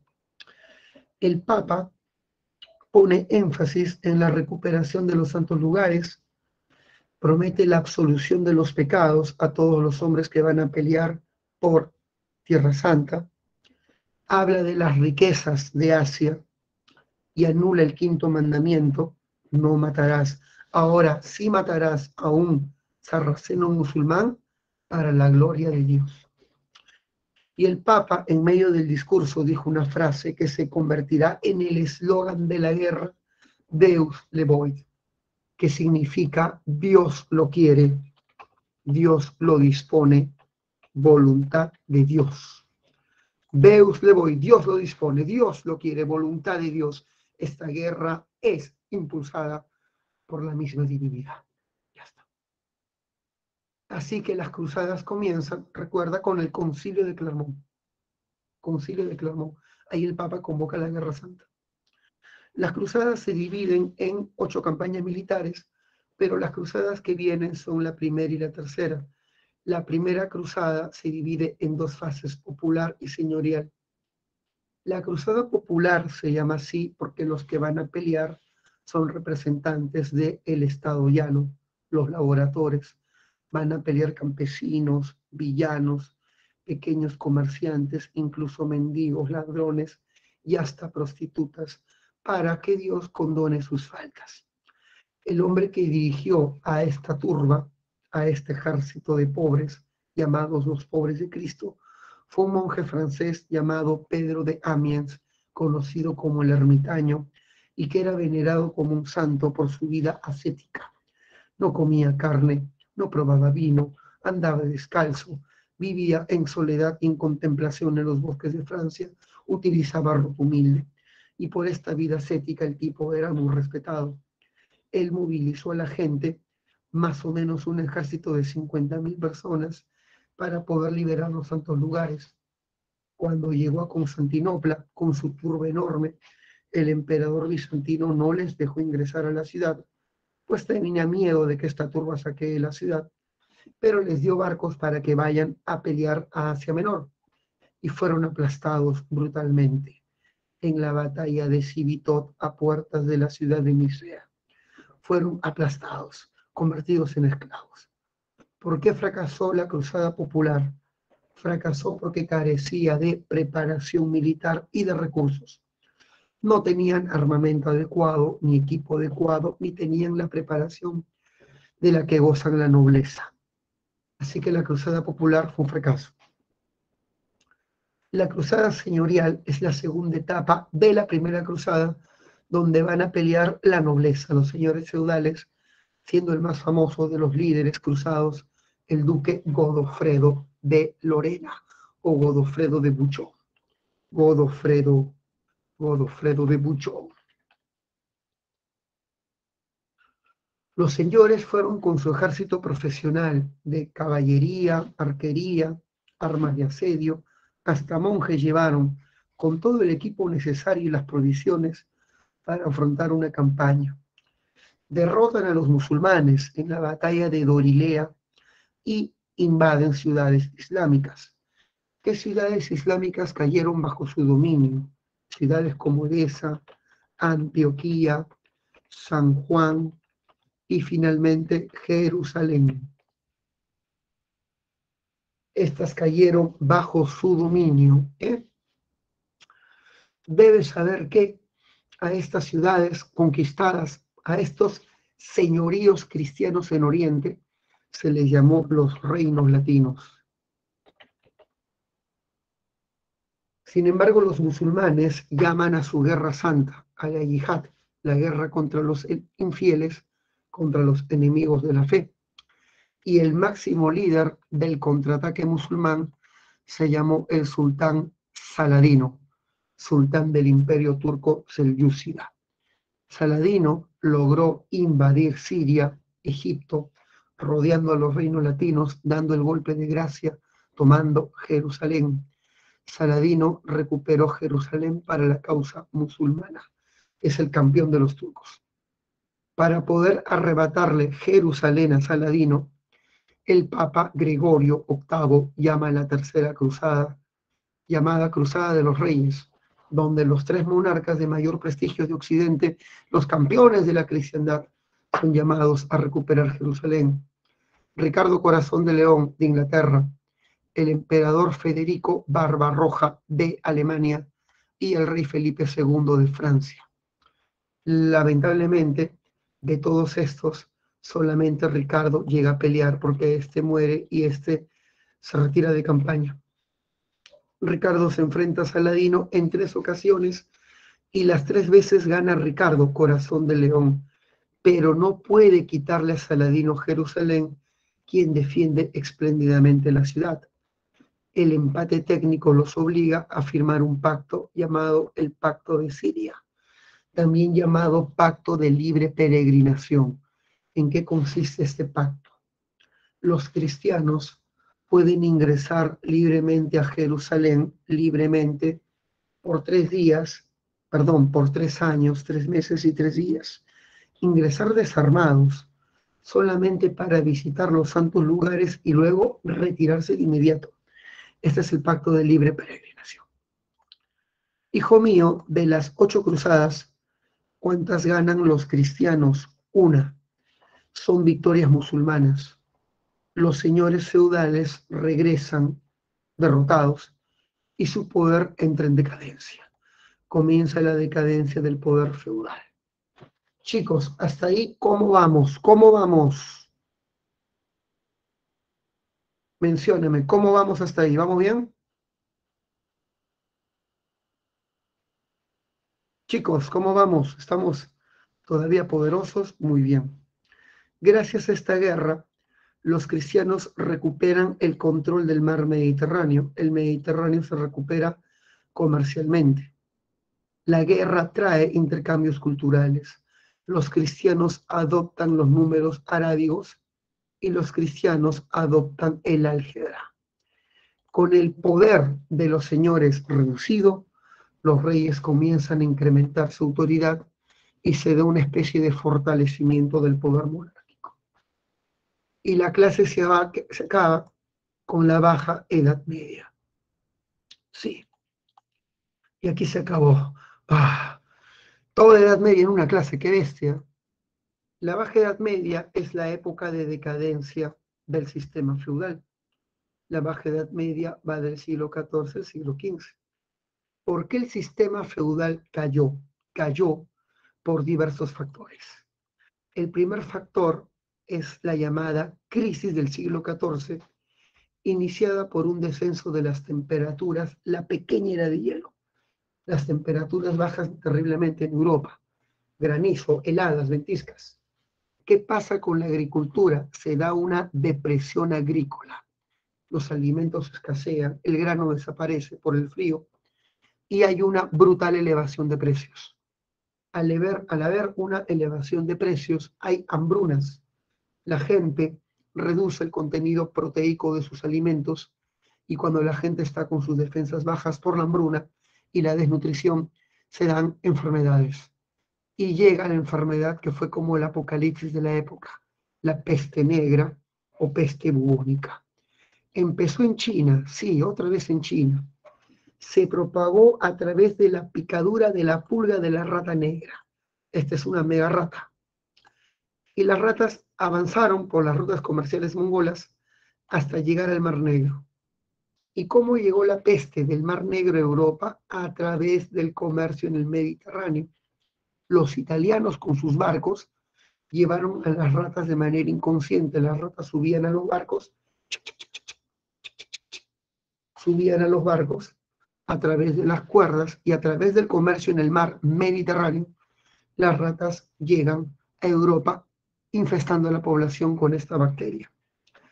He aquí un médico de la peste negra con esta máscara que tiene un pico lleno de ungüentos y perfumes para no respirar el aire ni el miasma de los infectados. ¿Por qué la peste se propagó tan rápido? Primero porque la gente vivía muy hacinada dentro de las ciudades. Segundo, los bajos niveles de defensa. La gente estaba desnutrida por la crisis y cuarto, por la insalubridad de la época, los bajos niveles de higiene. Consecuencia de la peste, mató a 20 millones de personas, o sea, la tercera parte de la población europea. Al morirse la gente, la demanda se derrumba, la mano de obra es costosa, porque o se han muerto, la mano de obra es costosa, y los feudos reducen su producción se da una pérdida de la rentabilidad de la tierra y los señores feudales caen en crisis. El señor feudal en crisis, el señor feudal arruinado, sube los impuestos a la gente y la gente que dice, vamos a pagar, ñanga, ¿ya? La gente se revela, revueltas campesinas. Es una época horrible para vivir. La concepción de la muerte se transformó y aparece el arte macabro. La muerte es representada como una calavera terrible que se lleva a nobles pobres por igual. En medio de este clima de desesperación se van a dar eventos horribles como la Guerra de los Cien Años, que es la guerra entre Inglaterra y Francia.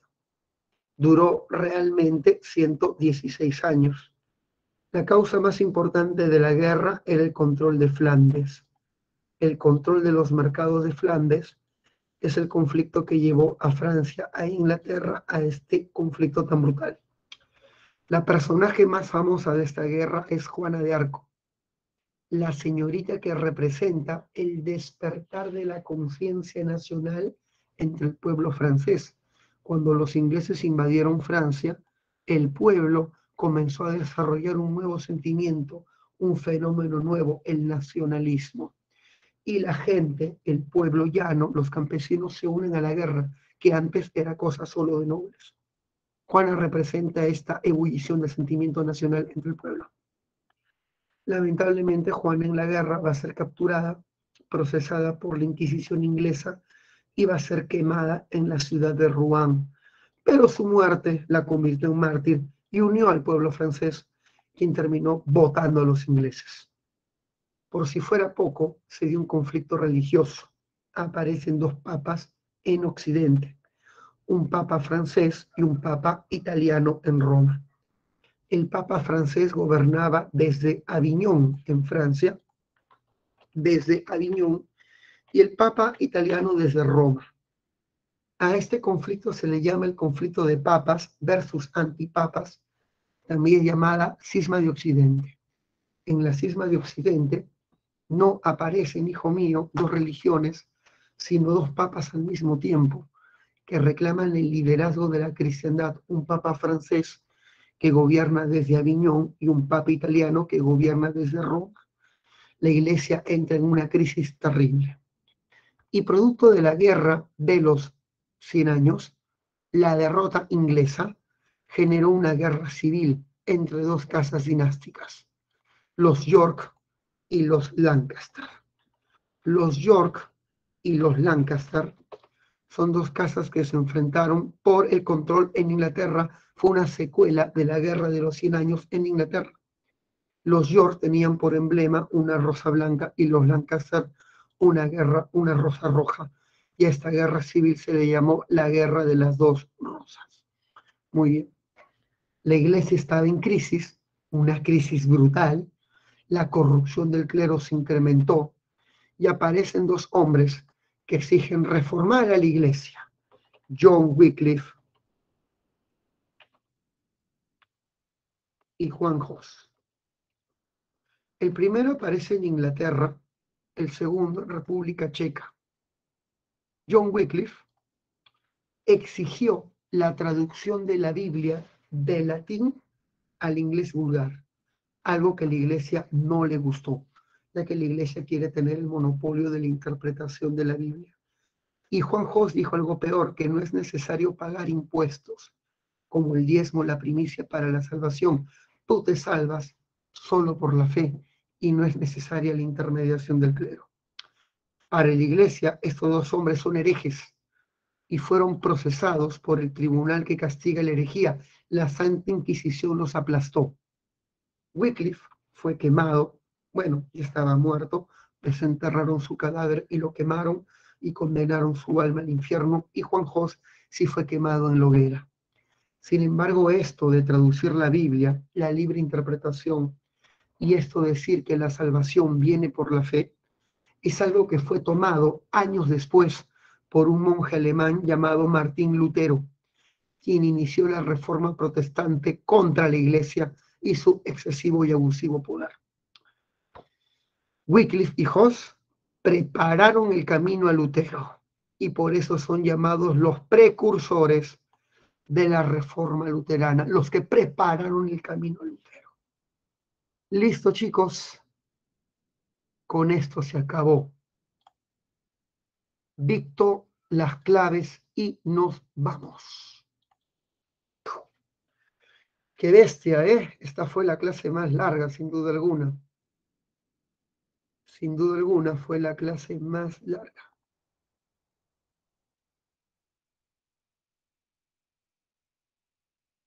Pregunta número uno. La clave es beso. Número dos, la clave es dedo. Uno beso, dos dedo. Número tres, la clave es avión. Número cuatro, casa. Tres avión, cuatro casa. Y número cinco, la clave es beso.